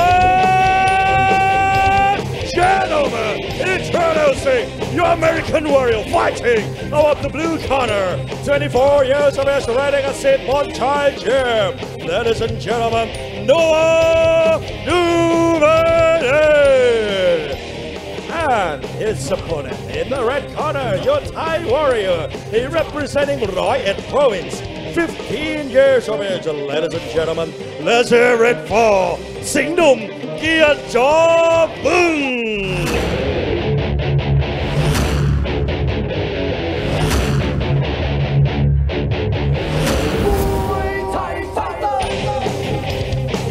Ladies and gentlemen, introducing your Thai warrior fighting out of the red corner. He representing Roy and Province. 15 years of age, ladies and gentlemen, let's hear it for Sing Num Gia Jom Bung.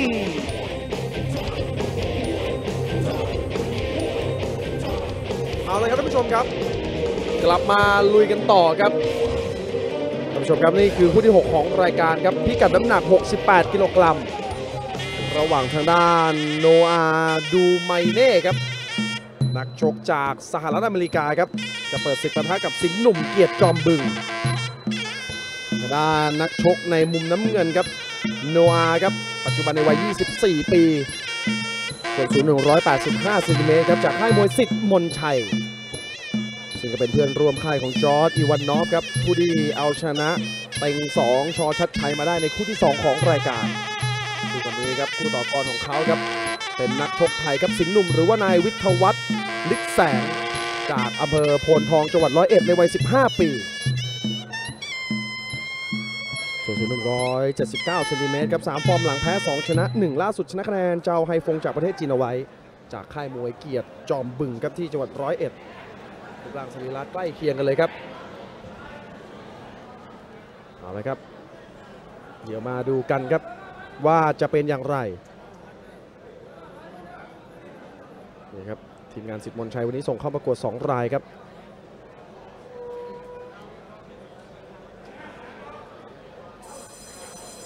ถัดจากคู่นี้ก็ยังเหลืออีกหนึ่งคู่ครับพิกัด 48 กิโลกรัมครับ ระหว่างทางด้านเพชรด้ามขวาน เพชรเลืองฤทธิ์กับเพชรทักษิณ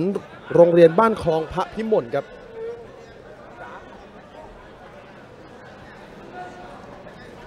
เอาละครับกรรมการยอดยิ่งครับ สับมือครับ ยกที่หนึ่งครับ เละครับเปิดฉากมาทางด้านเจ้าโนอาครับเล่นงานฐานล่างมาก่อนครับสายสาดเข้ามา เติมด้วยกับปั้นขวาครับ เดินหน้าบุกก่อนเลยครับทางด้านเจ้าโนอาแต่ว่าสิงห์หนุ่มครับพยายมจะบวกกับมวยคนละกาดครับ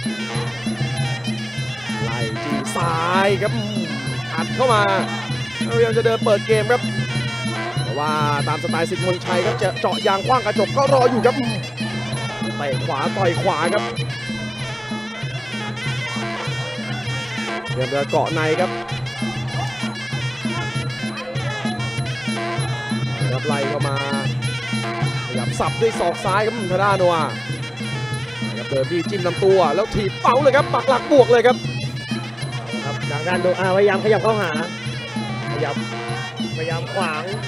ครับนี่ครับพยายามเล่นงานที่วงในขวางออกมาหัวดด้วยแข้งซ้าย โอ้ยทีบลูกนี้มอนยันหลักลูกนี้ครับดีกระเด็นติดมุมเลยครับหงายท้องตึงเลยครับมาเลยครับทิ้งขวาเข้าใส่อีกทีครับโมโนอาพยายามจะรัวหมัดครับท่านผู้ชมจับตาดูดีๆครับเพราะว่าแม่ตลอด 3 คู่ก่อนหน้านี้ครับชนะน็อกแพ้น็อกกันไปครับจากกระพริบตาเกมกำลังเดือดซ้ายของธนาสิงห์หนุ่มบอกว่าหวังเช็คบินเร็วเหมือนกันครับทางด้านโนอา เพราะว่าถ้ายืดเยอะไปนี่จะเข้าทางสิงห์หนุ่มครับพยายามพยายามพยายามจะตีขวาก่อนครับโนอาล็อกไล่แขน สิงห์หนุ่มปาดขวางแล้วสับศอกซ้าย ย้ำเลยครับธนาสิงห์หนุ่มเริ่มมีศอกสวนเข้ามาแต่อื้อหือท่อนขาหนักหนักๆของทางด้านเจ้าโนอาครับสวนคืนเขาหาปักด้วยศอกขวาครับทางด้านโนอาแล้วเสียบด้วยเข่าซ้าย งานสิงห์หนุ่มก็มีหมัดมาเสิร์ฟโอ้ยจิ้มงานไปที่บริเวณลำตัวครับนะครับทางด้านโนอาทีอีกครั้งโอ้จังหวะเอาคืนครับของทางด้านโนอาเอาสิงหนุ่มต้องประคองเกมครับตอนนี้โดนบุกหนักเลยครับมาครับสิงหนุ่มเดินเข้ามาจิ้มด้วยหมัดซ้ายโดนฮุกโดนอัปคัตแล้วฮุกครับเอาครับ โอ้แต่ว่าหัวใจครับสิงหนุ่มสวนเลยครับ เป็นทีของเขาบ้างครับจับในเสียบด้วยซ้ายครับครับเหลือเวลาอีกไม่ถึงหนึ่งนาทีครับจะทำยังไงต่อสิงหนุ่มขยับเข้าหานี่ครับสู้แล้วครับ ไม่มีหนีไม่มีถอยอยู่แล้วพยายามขวางแล้วเสียบด้วยเข่าซ้าย โอ้ยเจอบวกศอกบอกเป๋ไปเป๋มาโดนบาทาลูกพักอีกแล้วครับอุ้ยก็ถีบช้อนเข้าไปเลยครับครับซ้ายสูงไม่ถึงสิงห์หนุ่มก็เตะหลุดครับจังหวะเมื่อสักครู่นี้ต่างฝ่ายต่างหลุดครับขวางหน้าแทงก่อนครับหน้าสิงห์หนุ่มโดนขวางก็จริงครับแต่ว่าแกแทงได้เอาครับเกี่ยวพยายามจะตัดไม่ลงไล่แขนเข้ามาลาดไว้กรรมการแยกครับเอาละครับ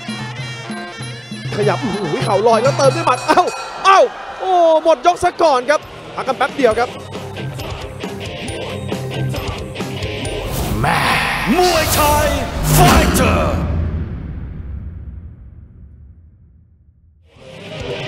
เอาละครับท่านผู้ชมครับโอ้โหในช่วงเวลาที่ระฆังตีพอดีเนี่ยทางด้านสิงห์หนุ่มนั้นเจอกำปั้นของทางด้านโนอาเล่นงานหงายท้องเลยครับโอ้โหบอกว่าเกมบุก ใครบุกก่อนได้เปรียบครับนักชกในมุมน้ำเงินครับโนอาดูไมเน่จากสหรัฐอเมริกาจากค่ายมวยสิทธิ์มนชัย เปิดเกมด้วยลูกถีบครับโอ้โหทั้งบาทาลูกพักทั้งมอนยังหลักรวมไปถึงจังหวะแจกอาวุธครับก็บอกว่าออกไปด้วยความมั่นใจครับแต่ว่ามีจังหวะสวนของด้านสิงห์หนุ่มเหมือนกันครับเอาละครับ ยกที่สองครับเอาละครับเมื่อสักครู่ต้องบอกว่ามีคุณพระละคังช่วยครับทางด้านสิงห์หนุ่ม ยกนี้ทางด้านโนอาครับเห็นช่องขยับเข้าหา ยายามหาจังหวะนี่ครับแกจะเล่นงานด้วยลูกถีบครับแต่ว่าทางด้านสิงห์หนุ่มรู้ทัน มีศอกพยายามขวางไว้วางด้วยแข้งซ้ายพยายามแล้วทีบอีกแล้วครับช้อนขึ้นไป โอ้แม่นจริงๆครับลูกนี้ครับลูกถีบเนี่ยทำให้มึนได้นะครับทางด้านเจ้านัวนะครับเดินหน้าจิ้มลำตัวครับสิงห์หนุ่มงัดด้วยศอกเสียบด้วยเข่านะครับโนอาแหม่พอมาตั้งรับนี่โดนอาวุธของทางด้านสิงห์หนุ่มคืนครับหนุ่มบอกไฟนี้เจ็บตัวเหลือเกินแต่ไม่มีกลัวแน่นอนครับ เอาละครับพยายามวางด้วยแข้งซ้ายอะเอาเลยครับโดนลำตัวแล้วมีอาการซึมครับทางด้านโนอาโอ้โหแต่จังหวะสาวหมัดครับมาแล้วครับทางด้านโนอาเสยด้วยอัปเปอร์คัตเสยขึ้นมาอีกครั้ง ยังกรอบไม่ลงครับ โอ้จังหวะสลับเข้ามาโดอาทอดหัวเหมือนกันครับ เดินต่อสิงห์หนุ่มพยายามล้วงไปที่บริเวณลำตัว แล้วเสียบด้วยเข่าซ้ายขวางหน้าไว้การแยกออกครับเอาละครับเริ่มเห็นช่องครับต่างคนต่างมีจุดอ่อนครับตอนนี้ เริ่มเห็นทิศเห็นทางของตัวเองแล้วครับว่าเป้าหมายอยู่ตรงไหนครับทางด้าสิงห์หนุ่มต้องบอกว่าเตะไม่ต้องเตะสูงครับ เอาแค่ลำตัวโอ้ยแต่จังหวะเสียบของทางด้าโนอาครับได้แกเสยขึ้นหน้าอีกแล้วครับหากับวางด้วยแข้งซ้ายด้านโนอาเดินหน้าบุกต่อครับค้ำไว้ครับสิงห์หนุ่มตั้งหลักได้หรือยังครับวางด้วยแข้งขวาครับเติมเข้ามาอีกครั้งจี้แล้วครับจี้ที่บริเวณลำตัวครับโอ้ซ้ายขวาซ้ายทีขวาทีเติมเข้ามาตลอดครับทางด้าสิงห์หนุ่ม บอกว่าตอนนี้ทางด้านสิงห์หนุ่มครับ ใช้วงในเป็นเอาไว้เล่นงานโนอาครับนะครับขยับเข้าหาต่อสิงห์หนุ่มเห็นช่องโอ้ยศอกขวาลูกนี้ครับ กรรมการต้องนับเลยครับโอ้โหโชกเดียวเนี่ยรู้เลยว่ามึนครับ แต่ว่าต้องชื่นชมว่าแกลุกขึ้นเร็วครับมาแล้วครับและพร้อมที่จะสู้ต่อครับเสียไปหนึ่งนับครับทานสิงห์หนุ่มนะครับเดี๋ยวดูว่ากลับเข้าฝั่งได้หรือเปล่าครับทานสิงห์หนุ่มตอนนี้โนอาบุกต่อครับ ขวาสูงนะครับซ้ายของสิงห์หนุ่มครับซ้ายยาวสิงห์หนุ่มโดนอีกแล้วครับโนอาแกหนักทุกลูกเลยครับ ยังอยู่ในอาการมึนครับพยายามประเคนหมัดและประเคนแข้งเข้าสู้ครับทางด้านสิงห์หนุ่มเอาละครับเริ่มตั้งหลักได้ โอ้ หลุดไปครับลูกนี้ เดินเข้าหาเสียบเอาโนอาหยุดช็อตไปหรือเปล่าครับ โอ้โหโดนลำตัวแล้วมีอาการเครื่องสะดุดครับ เอาลยครับและตอนนี้สิงห์หนุ่มกลับเข้าฝั่งได้สำเร็จ เดินหน้าเอาคือแต่โดนตัดครับ โอ้ทำลายจังหวะเกมบุกของทางด้านสิงห์หนุ่มได้ครับนัวสิงห์หนุ่มครับไม่มีอะไรจะเสียแล้วครับ ขยับเข้าหา เดินเสียบยาวๆมาแล้วครับขยับเข้าหาอาจังหวะโดนหมัดครับไปช้าครับ จังหวะสองจิตสองใจมาเลยครับทางด้านโนอาวางแข้งซ้ายพยายามถีบออกไปครับประคองตัว หมดยกที่สองครับ Muay Thai Fighter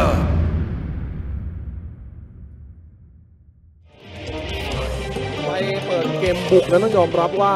ทำได้ครับ และทำได้น่ากลัวอีกด้วยโนอาดูไมเน่ครับจากสหรัฐอเมริกาครับกับค่ายมวยสิทธิ์มนชัยในมุมน้ำเงินนั้น ได้มาหนึ่งนับแต่ว่าก็มีจังหวะที่โดนทางด้านเจ้าสิงห์หนุ่มมาขึ้นศอกขวานี่ครับเต็มเต็มๆครับ บอกว่าแฝกหน้าเลยครับ สับเข้าไปครับ โอ้โหเข่าอ่อนเป็นสายย่อครับนี่ครับสับเข้ามาแต่ละทีครับ จนมาได้นับในช่วงปลายยกแต่ว่าทางด้านเจ้าสิงห์หนุ่มก็กัดฟันเดินเสียบเอาคืนโนอาโดนลำตัวแล้วมีอาการครับ แต่ว่าเดี๋ยวดูว่า 3 นาทีสุดท้ายทางด้านสิงห์หนุ่มจะพลิกสถานการณ์ที่เสียนับ กลับมาคว้าชัยได้หรือเปล่าลุยกันต่อครับเอาละครับสถานการณ์บีบบังคับให้ทางด้านสิงห์หนุ่มต้องเดินติดวงในครับ ในมัวลอยหน้าลอยตาแรกวงนอกนี่ต้องบอกว่าเดี๋ยวมีนับที่สองแน่ครับ เพราะว่าอาวุธแกหนักแรงจริงๆครับทางด้านโนอาสิงห์หนุ่มขยับเข้าหาประชิดวงในโอ้เจอโยนเข่าลูกนี้แล้วตามด้วยหมัดซ้ายทิ่มหมัดขวามา โอ้แกวนฉากไปเรื่อยครับแกไม่ถอยตรงๆครับนะครับสู้กันที่วงในทางด้านสิงห์หนุ่มพยายามจะเสียบยัดไส้ครับโนอาคืนด้วยศอกซ้ายเอ้อศอกอีกแล้วครับครับซ้ายยาวๆเปิดเกมแล้วเสียบขวา ห์หนุ่มคล้องได้ตีครับนะครับได้กันมาต่างฝ่ายต่างทำได้ครับจังหวะเตะขวาหลุดไปเจอซ้ายคืนยังไม่โดนครับหนุ่มเดินเข้าหา พยายามรัดวงในแล้วเด้งด้วยเข่าขวา เจอเข่าขวาพยายามมาเปิดจากประชาติมายังไม่ลงครับแยกออกมาอีกครั้งครับจากกรรมการยอดยิ่งครับพยายามตอนนี้ยังสู้กันอยู่ที่วงในครับกรรมการแยกออกมาพ ยายามเข้าหาต่อสิงห์หนุ่มมีทีบนำทีบนำแล้วเสียบตามโอ้ยแต่ว่าต้องบอกว่าวันนี้หมัดของทางด้านโนอาครับสร้างปัญหากับทางด้านสิงห์หนุ่มเป็นอย่างมากนี่ครับอาวุธแม่ไม้มวยไทยแกนี่ต้องบอกว่าครบเครื่องจริง ๆ ครับพยายามจะตีเข้ามาปวดเลยครับโอ้ถอดออกมาแล้ววางแค่แล้วมาแล้วครับ เอาละครับ นาทีวิกฤตหรือเปล่าครับสิงห์หนุ่มเสียบด้วยเขาขวาครับโนอาสิงห์หนุ่มกดไว้เกี่ยวไว้แต่ไม่คืนครับ เอาละครับ อ้ชักจะแผ่วไปเหมือนกันครับกล่อมยังไง ทางด้านโนอาแกก็ไม่ยอมสักทีครับแก่งเรื่องพิกัดครับทางด้านโนอานี่ครับมีบวกศอกคืนเหมือนกันครับกับปั้น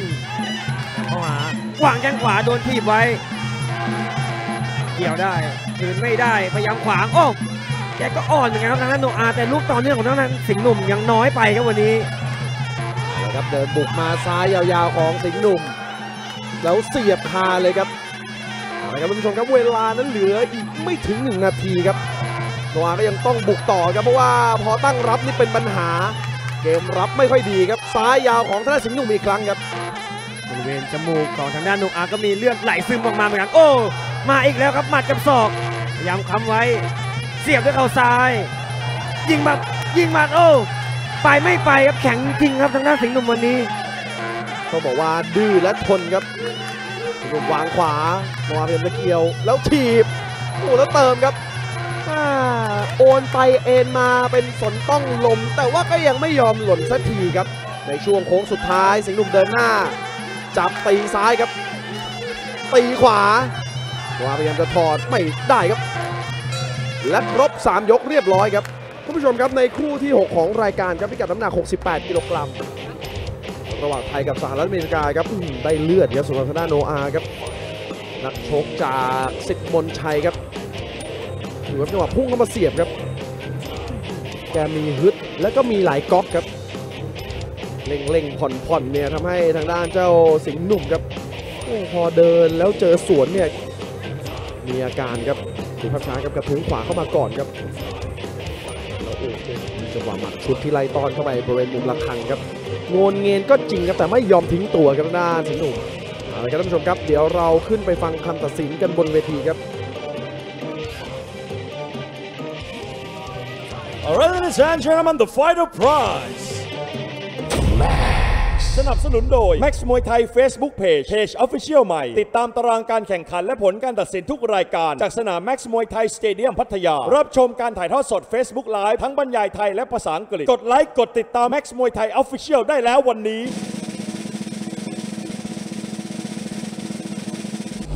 Fighter for blue and red corner. Max Muay Thai Facebook page. Both fighter receive our fighter prizes. Alright, ladies and gentlemen, of the three rounds of actions, we go to the judges scorecard for the winner. Blue corner, Noah Dumaine. and gentlemen, we'll be right back there, shot break. This is Muay Thai Fighter. Muay Thai Fighter! Ladies and gentlemen, welcome back to Muay Thai Fighter and now let's move on to our last bout เอาละครับคุณผู้ชมครับตอนนี้เดินทางมาถึงผู้วยคู่สุดท้ายของรายการมวยไทยไฟเตอร์ในค่ำคืนวันนี้ครับ Alright, ladies and gentlemen, introducing your Thai warrior fighting above the blue corner, he representing Nonthaburi province. Ladies and gentlemen, let's hear it for เพชรทักษิณโรงเรียนบ้านคลองพระพิมล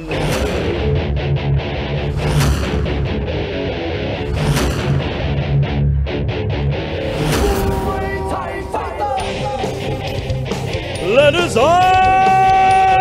gentlemen, Introducing your young Thai warrior fighting out of the blue corner. He representing Nonthaburi province. เพชรทักษิณโรงเรียนบ้านคลองพระพิมล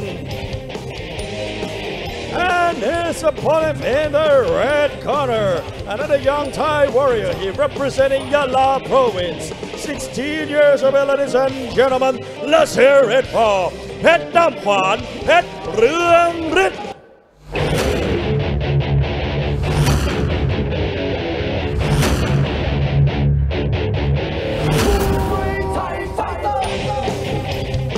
Ladies and gentlemen, introducing your Thai warrior fighting out of the red corner. He representing Yala province. Ladies and gentlemen, Pet Dam Kwan, Pet Ruang Rit. เอาละครับท่านผู้ชมครับ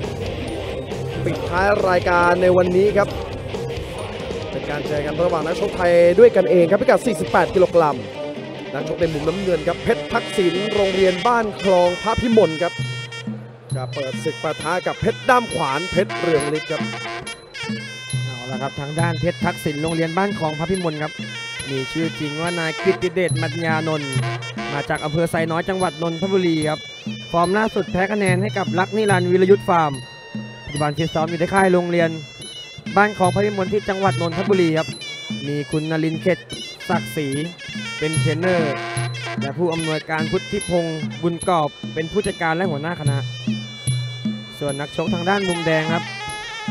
เพชรด้ามขวานเพชรเรืองฤทธิ์ครับ โอ้โห มาไกลครับวันนี้ มาจากอำเภอยะหาจังหวัดยะลาครับ วัย 16 ปี ฟอร์มล่าสุดแพ้ technical knockout ในยกที่ 1 เพชรบุรพาเกียรติเมืองปาง ปัจจุบันฟิตซ้อมอยู่ที่ค่ายเพชรเรืองฤทธิ์ครับที่จังหวัดยะลา มีสิบโทขจรเกียรติพรมจันทร์เป็นเทรนเนอร์ มีพันเอกอภิชัยเรืองฤทธิ์เป็นผู้จัดการและหัวหน้าคณะก็วันนี้สำหรับค่ายมวยเพชรเรืองฤทธิ์นั้นมา 2 รายครับ แพ้ไป 1 จากเพชรพยักในผู้เปิดหัวที่แพ้ให้กับไพโรธสอพนาเจอเพชรไปเลยครับเอาละ ครับท่านผู้ชมครับปิดท้ายรายการครับ ก็เป็นอีกหนึ่งสถาบันการศึกษาครับโรงเรียนบ้านคลองบ้านคลองพระพิมลครับที่สนับสนุนในเรื่องกีฬามวยไทย ซึ่งก็เป็นกีฬาประจำชาติครับนอกเหนือจากทำให้เยาวชนนั้นห่างไกลจากยาเสพติดแล้วนะครับก็จะได้สร้างความแข็งแรงให้กับร่างกายด้วยครับเอาละครับท่านผู้ชมครับ ยกที่หนึ่งในคู่ปิดท้ายครับโอ้โหอยู่กันมาถึงเนี่ยไล่ต่อยหมัดก่อนเลยครับพนาเพชรดำขวานอ่าเป็นดำขวานบอกว่าวันนี้มาไกลครับ ขอโชว์ฟอร์มสวยๆหนะครับ ขยับเข้าหายิงหมัดโอ้ มาครับทั้งซ้ายทั้งขวา ทางด้านเพชรทักษิณก็บวกเหมือนกันเอาละครับทิ้งหมัดเข้ามาครับทางด้านเพชรทักษิณครับทางด้านเพชรดำขวานเนี่ยเป็นเด็กจากยะลาครับ แต่เพชรทักษิณเนี่ยชื่อก็มาจากใต้เหมือนกันครับ เอาละครับไหลใหม่ก็โอ้โหกระดูกดันจริงๆครับทางด้านเพชรดำขวานครับเอาละครับวันนี้มาดุเหลือเกินครับ ต้องบอกว่าอยากจะ วันนี้อยากจะโชว์ฟอร์มครับขยับเข้าหาทางด้านเพชรน้ำขวานเจอบวกศอกเอาแล้วครับนี่ครับเปิดเกมบุกตามสไตล์ของค่ายมวยเพชรเรืองฤทธิ์เลยครับกับปั้นขวาต่อยคืนเข้ามาครับทางด้านเจ้าเพชรดำทางด้านเจ้าเพชรทักษิณครับแต่ ไปตั้งรับแบบนี้เนี่ยไม่ดีครับ ตัวเดินนั้นเป็นมวยได้เปรียบครับครับไล่ทุกมาเดี๋ยวจะขืนกับทางด้านเพชรทักษิณด้าเพชรด้อมขวานครับดูครับขยับเข้าหาวางในแข้งขวา วันนี้ขอตีแค่แตกครับเอาใจชนะกับยะลาสักคนครับ ขยับเข้าหายิงหมัดหนึ่งสองก็ตามด้วยหมัดขวา โอ้ดุจริง ๆ อ้าวมีอาการหรือเปล่าทางด้านเพชรทักษิณพยายามนัดวงในไว้ก่อน รรมการแยกออกมากลางเวทีจังหวะเมื่อสักครู่นี้นั้นพุ่งเข้าไปแล้วโดนดักแทงครับไม่เสียอาการครับนะครับถีบด้วยซ้ายดักไว้เพชรทักษิณทิ้งด้วยหมัดชุด เอาคืนบ้างครับดักรอจังหวะอยู่ครับแต่ว่านี่ก็เป็นด้ามขวานแกมาต้องบอกว่าเร่งเยอะเลยครับ ยกแรกก็เร่งแบบนี้เนี่ยยืนระยะหากยืดเยื้อไปจะเป็นยังไงครับหวงซ้ายตัดลำตัวเข้ามาครับเพชรทักษิณแล้วก็หุกซ้ายของเพชรด้ามขวานครับพยายามเร่งปิดเกมให้เร็วที่สุดครับทางด้านเพชรด้ามขวาน แต่ยืดเยื้อไปนี่ต้องบอกมีปัญหาแน่นอนครับเพราะแกเร่งเยอะเหลือเกินครับในยกที่หนึ่งนะครับเพชรทักษิณก็มีโต้มีเถียงชกแต่แกชกตั้งรับครับทำให้ทางด้านเพชรด้ามขวานได้ใจครับวันนี้ขยับเข้าหา โยกวางด้วยแข้งขวาเอาละครับเริ่มจะทนได้นะครับทางด้านเพชรทักษิณจิบอ้าวโอ้แม่นกว่าครับในจังหวะนี้รัดไก่ต่อยเลยครับเอาละครับทิ้งหมัดตัดลำตัวเข้ามาครับทางด้านเพชรน้ำขวานโอ้ชักจะหัวร้อนครับ เป็นทักษิณเริ่มตั้งหลักได้เริ่มไม่ตกใจครับขยับเข้าหาโอ้ทิ้งด้วยศอกเก็ดง้างมาเลยครับจากนนทบุรีเจอแข้งขวาแล้วตามด้วยหมัดขวาตัดสินใจสาวหมัดเหวี่ยงไปเหวี่ยงมาโอ้จะกล่อมให้หลับครับ แต่ว่านี่ครับขวาอะไรครับทางด้าเพชรทักษิณวงในกอดรัดกันไปแต่ว่าก็ยังตามผลงานไม่ได้ครับทางด้าเพชรทักษิณนะครับเพยายามจะดึงจังหวะครับขวาของธนาเพชรดำขวาแล้วทีบนำ ไล่ตอนต่อเลยครับ แต่ว่าหมดยกซะก่อนครับ Muay Thai Fighter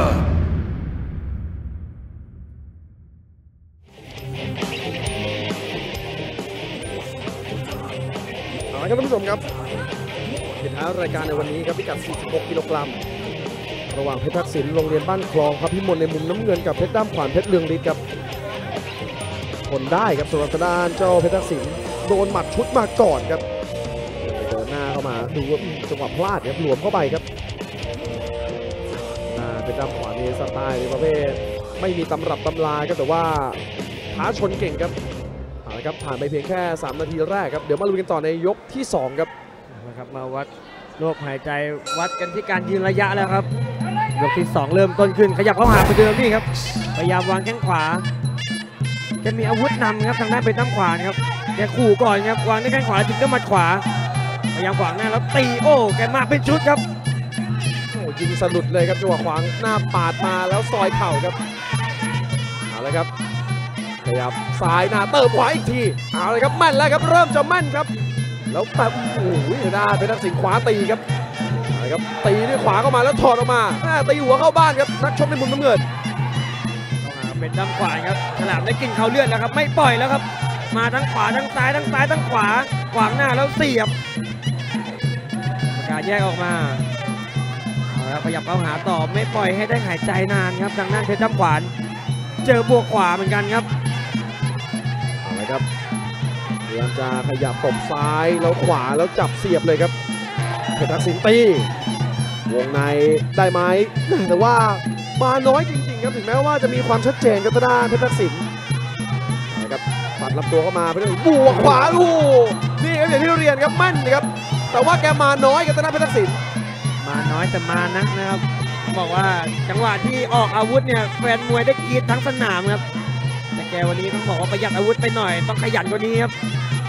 เป็นฝ่ายเดินเข้าหาต่อครับทางด้านเป็นตั้งขวาวางด้แข้งขวากะขึ้นก้านคอครับแต่ยังไม่ถึงยายามรูดลงมา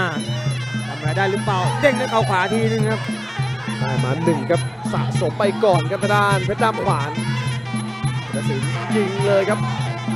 เดี๋ยวได้คืนนี่ครับแต่ว่าจังหวะ 2 3 และ 4 เนี่ย ยังคงเป็นทางด้านที่เพชรด้ามขวานที่ทำได้ครับเอาละครับมาถึงสองจั่วเข้าไปอีกครั้งครับทาด้านเพชรทักษิณแล้วเติมซ้ายสูง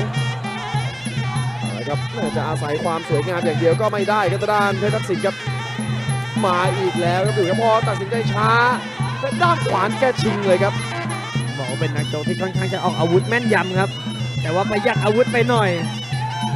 ทางด้านเพชรตั้งความอาศัยลูกตื้อครับเดินเข้าหาโดนหมัดหนึ่งสองครับแต่จะมาฉายตอนไหนครับอยากเข้าหาต่อเพชรตั้งขวานเจอบวกบวกบวกศอกขวาอยากเข้าหามาอีกแล้วครับนี่ครับเสียงเชียร์ดังลั่นสนามเหมือนเคยครับครับมาแต่ละทีเนี่ยกองเชียร์ก็ลุ้นไปด้วยเลยครับ ว่าเพชรดำขวานตี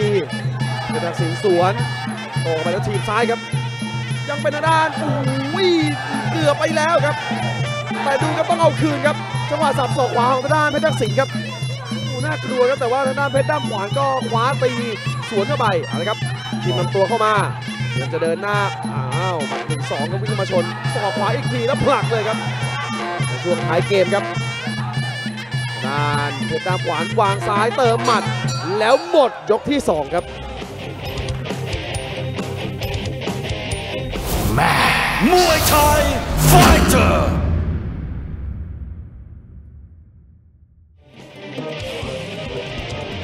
'All right, coming into the third and final round. What were your thoughts on that? Other than that, them little guys are just brawlers. It's just so hard to score that one as well. I mean, of course you have Pet Dampon coming in with some really heavy punches, as we'll see in the replay for sure. Yeah. But then of course you got, but you got to wonder how many of that actually hit the mark. Oh yeah, good point. It just seemed like Pet Tuxin was just much more accurate at, at times. Yeah, very true. I mean, his output wasn't as much as Pet Dampon, that's for sure. Yeah. But then his position, that's another story. Either way, it's been a very good match so far. Here we go, start with the third and final round. Whoa. Just losing his balance there, Pet Dampon.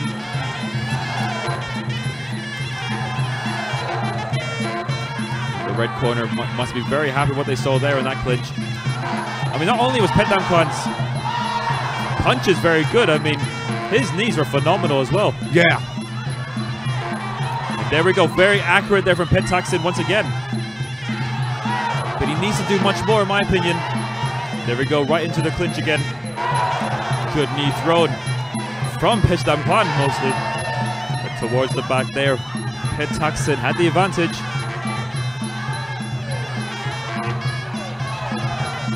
I'm starting to wonder what's going to get Pet Dampon tired.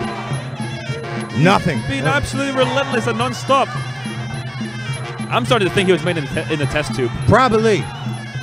Probably. I mean, look at his form. I mean, he looks like the Terminator. He just walks forward through everything Wow, maybe he was caught there. He reacted. and comes forward again. How is this guy human? Just every single hard shot he comes with, he tries to hit back with harder shots. He got hit there again and he comes back. Wow. Oh,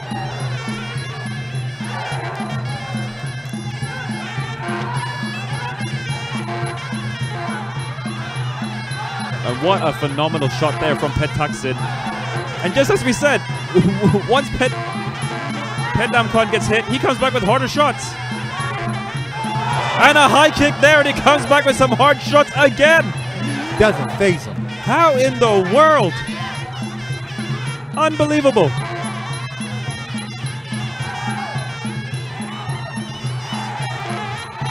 And comes in with some great knees again.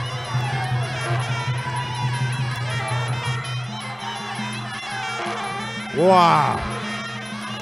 What a display of skill and heart. Oh, it's a fantastic bout. And they've both received hard shots, but none of them have shown any weakness. No. What's impressive is they look more composed than some of these foreigners we've had on the card tonight. Or Oh, some of these other fighters. I mean, let's put this for for example. I mean, Pet Dam Kwan and Pet Taxi, they've both been hit in the midsection, and they never slouch like shrimp, so to speak. Yeah. They kept their back straight. They've both been hit above, and they just came right back with an attack of them, their own. This is a solid contest right here. and let me tell you what, these two stole the show. What do you say? I I fully agree. 1000%. Until the very end, they're both still fighting, and what a contest. Beautiful performance from these guys. Absolutely phenomenal. But it's going to be interesting to see what the refs have to say about this. That's all the time we have for you tonight. We'll leave you with some of the replay. If you've enjoyed the show tonight, please watch the, our next edition of Max Muay Thai Fighter tomorrow night starting at 6 p.m. It's going to be a great show, definitely. Have a great night, everybody.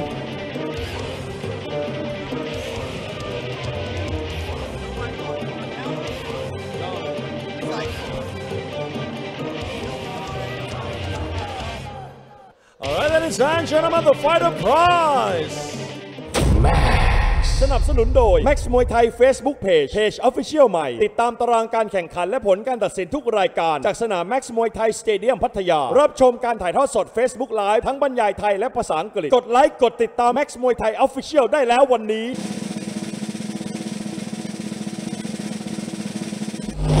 No prize. Max Muay Thai Facebook page. All right, ladies and gentlemen, of the three rounds of actions, we go to the judges' scorecard for the winner. Red corner, เพชรดำขวานเพชรเรืองฤทธิ์ เอาละครับคุณผู้ชมครับสำหรับวันนี้เวลาของรายการมวยไทยไฟเตอร์ก็จบลงไปแล้ว พรุ่งนี้พบกันใหม่นะครับในรายการมวยไทยไฟเตอร์เช่นเดียวกันเอาละครับวันนี้ผมเบียร์แม็กซ์มวยไทยขอตัวลาคุณผู้ชมไปก่อนพบกันใหม่วันพรุ่งนี้ครับ สวัสดีครับ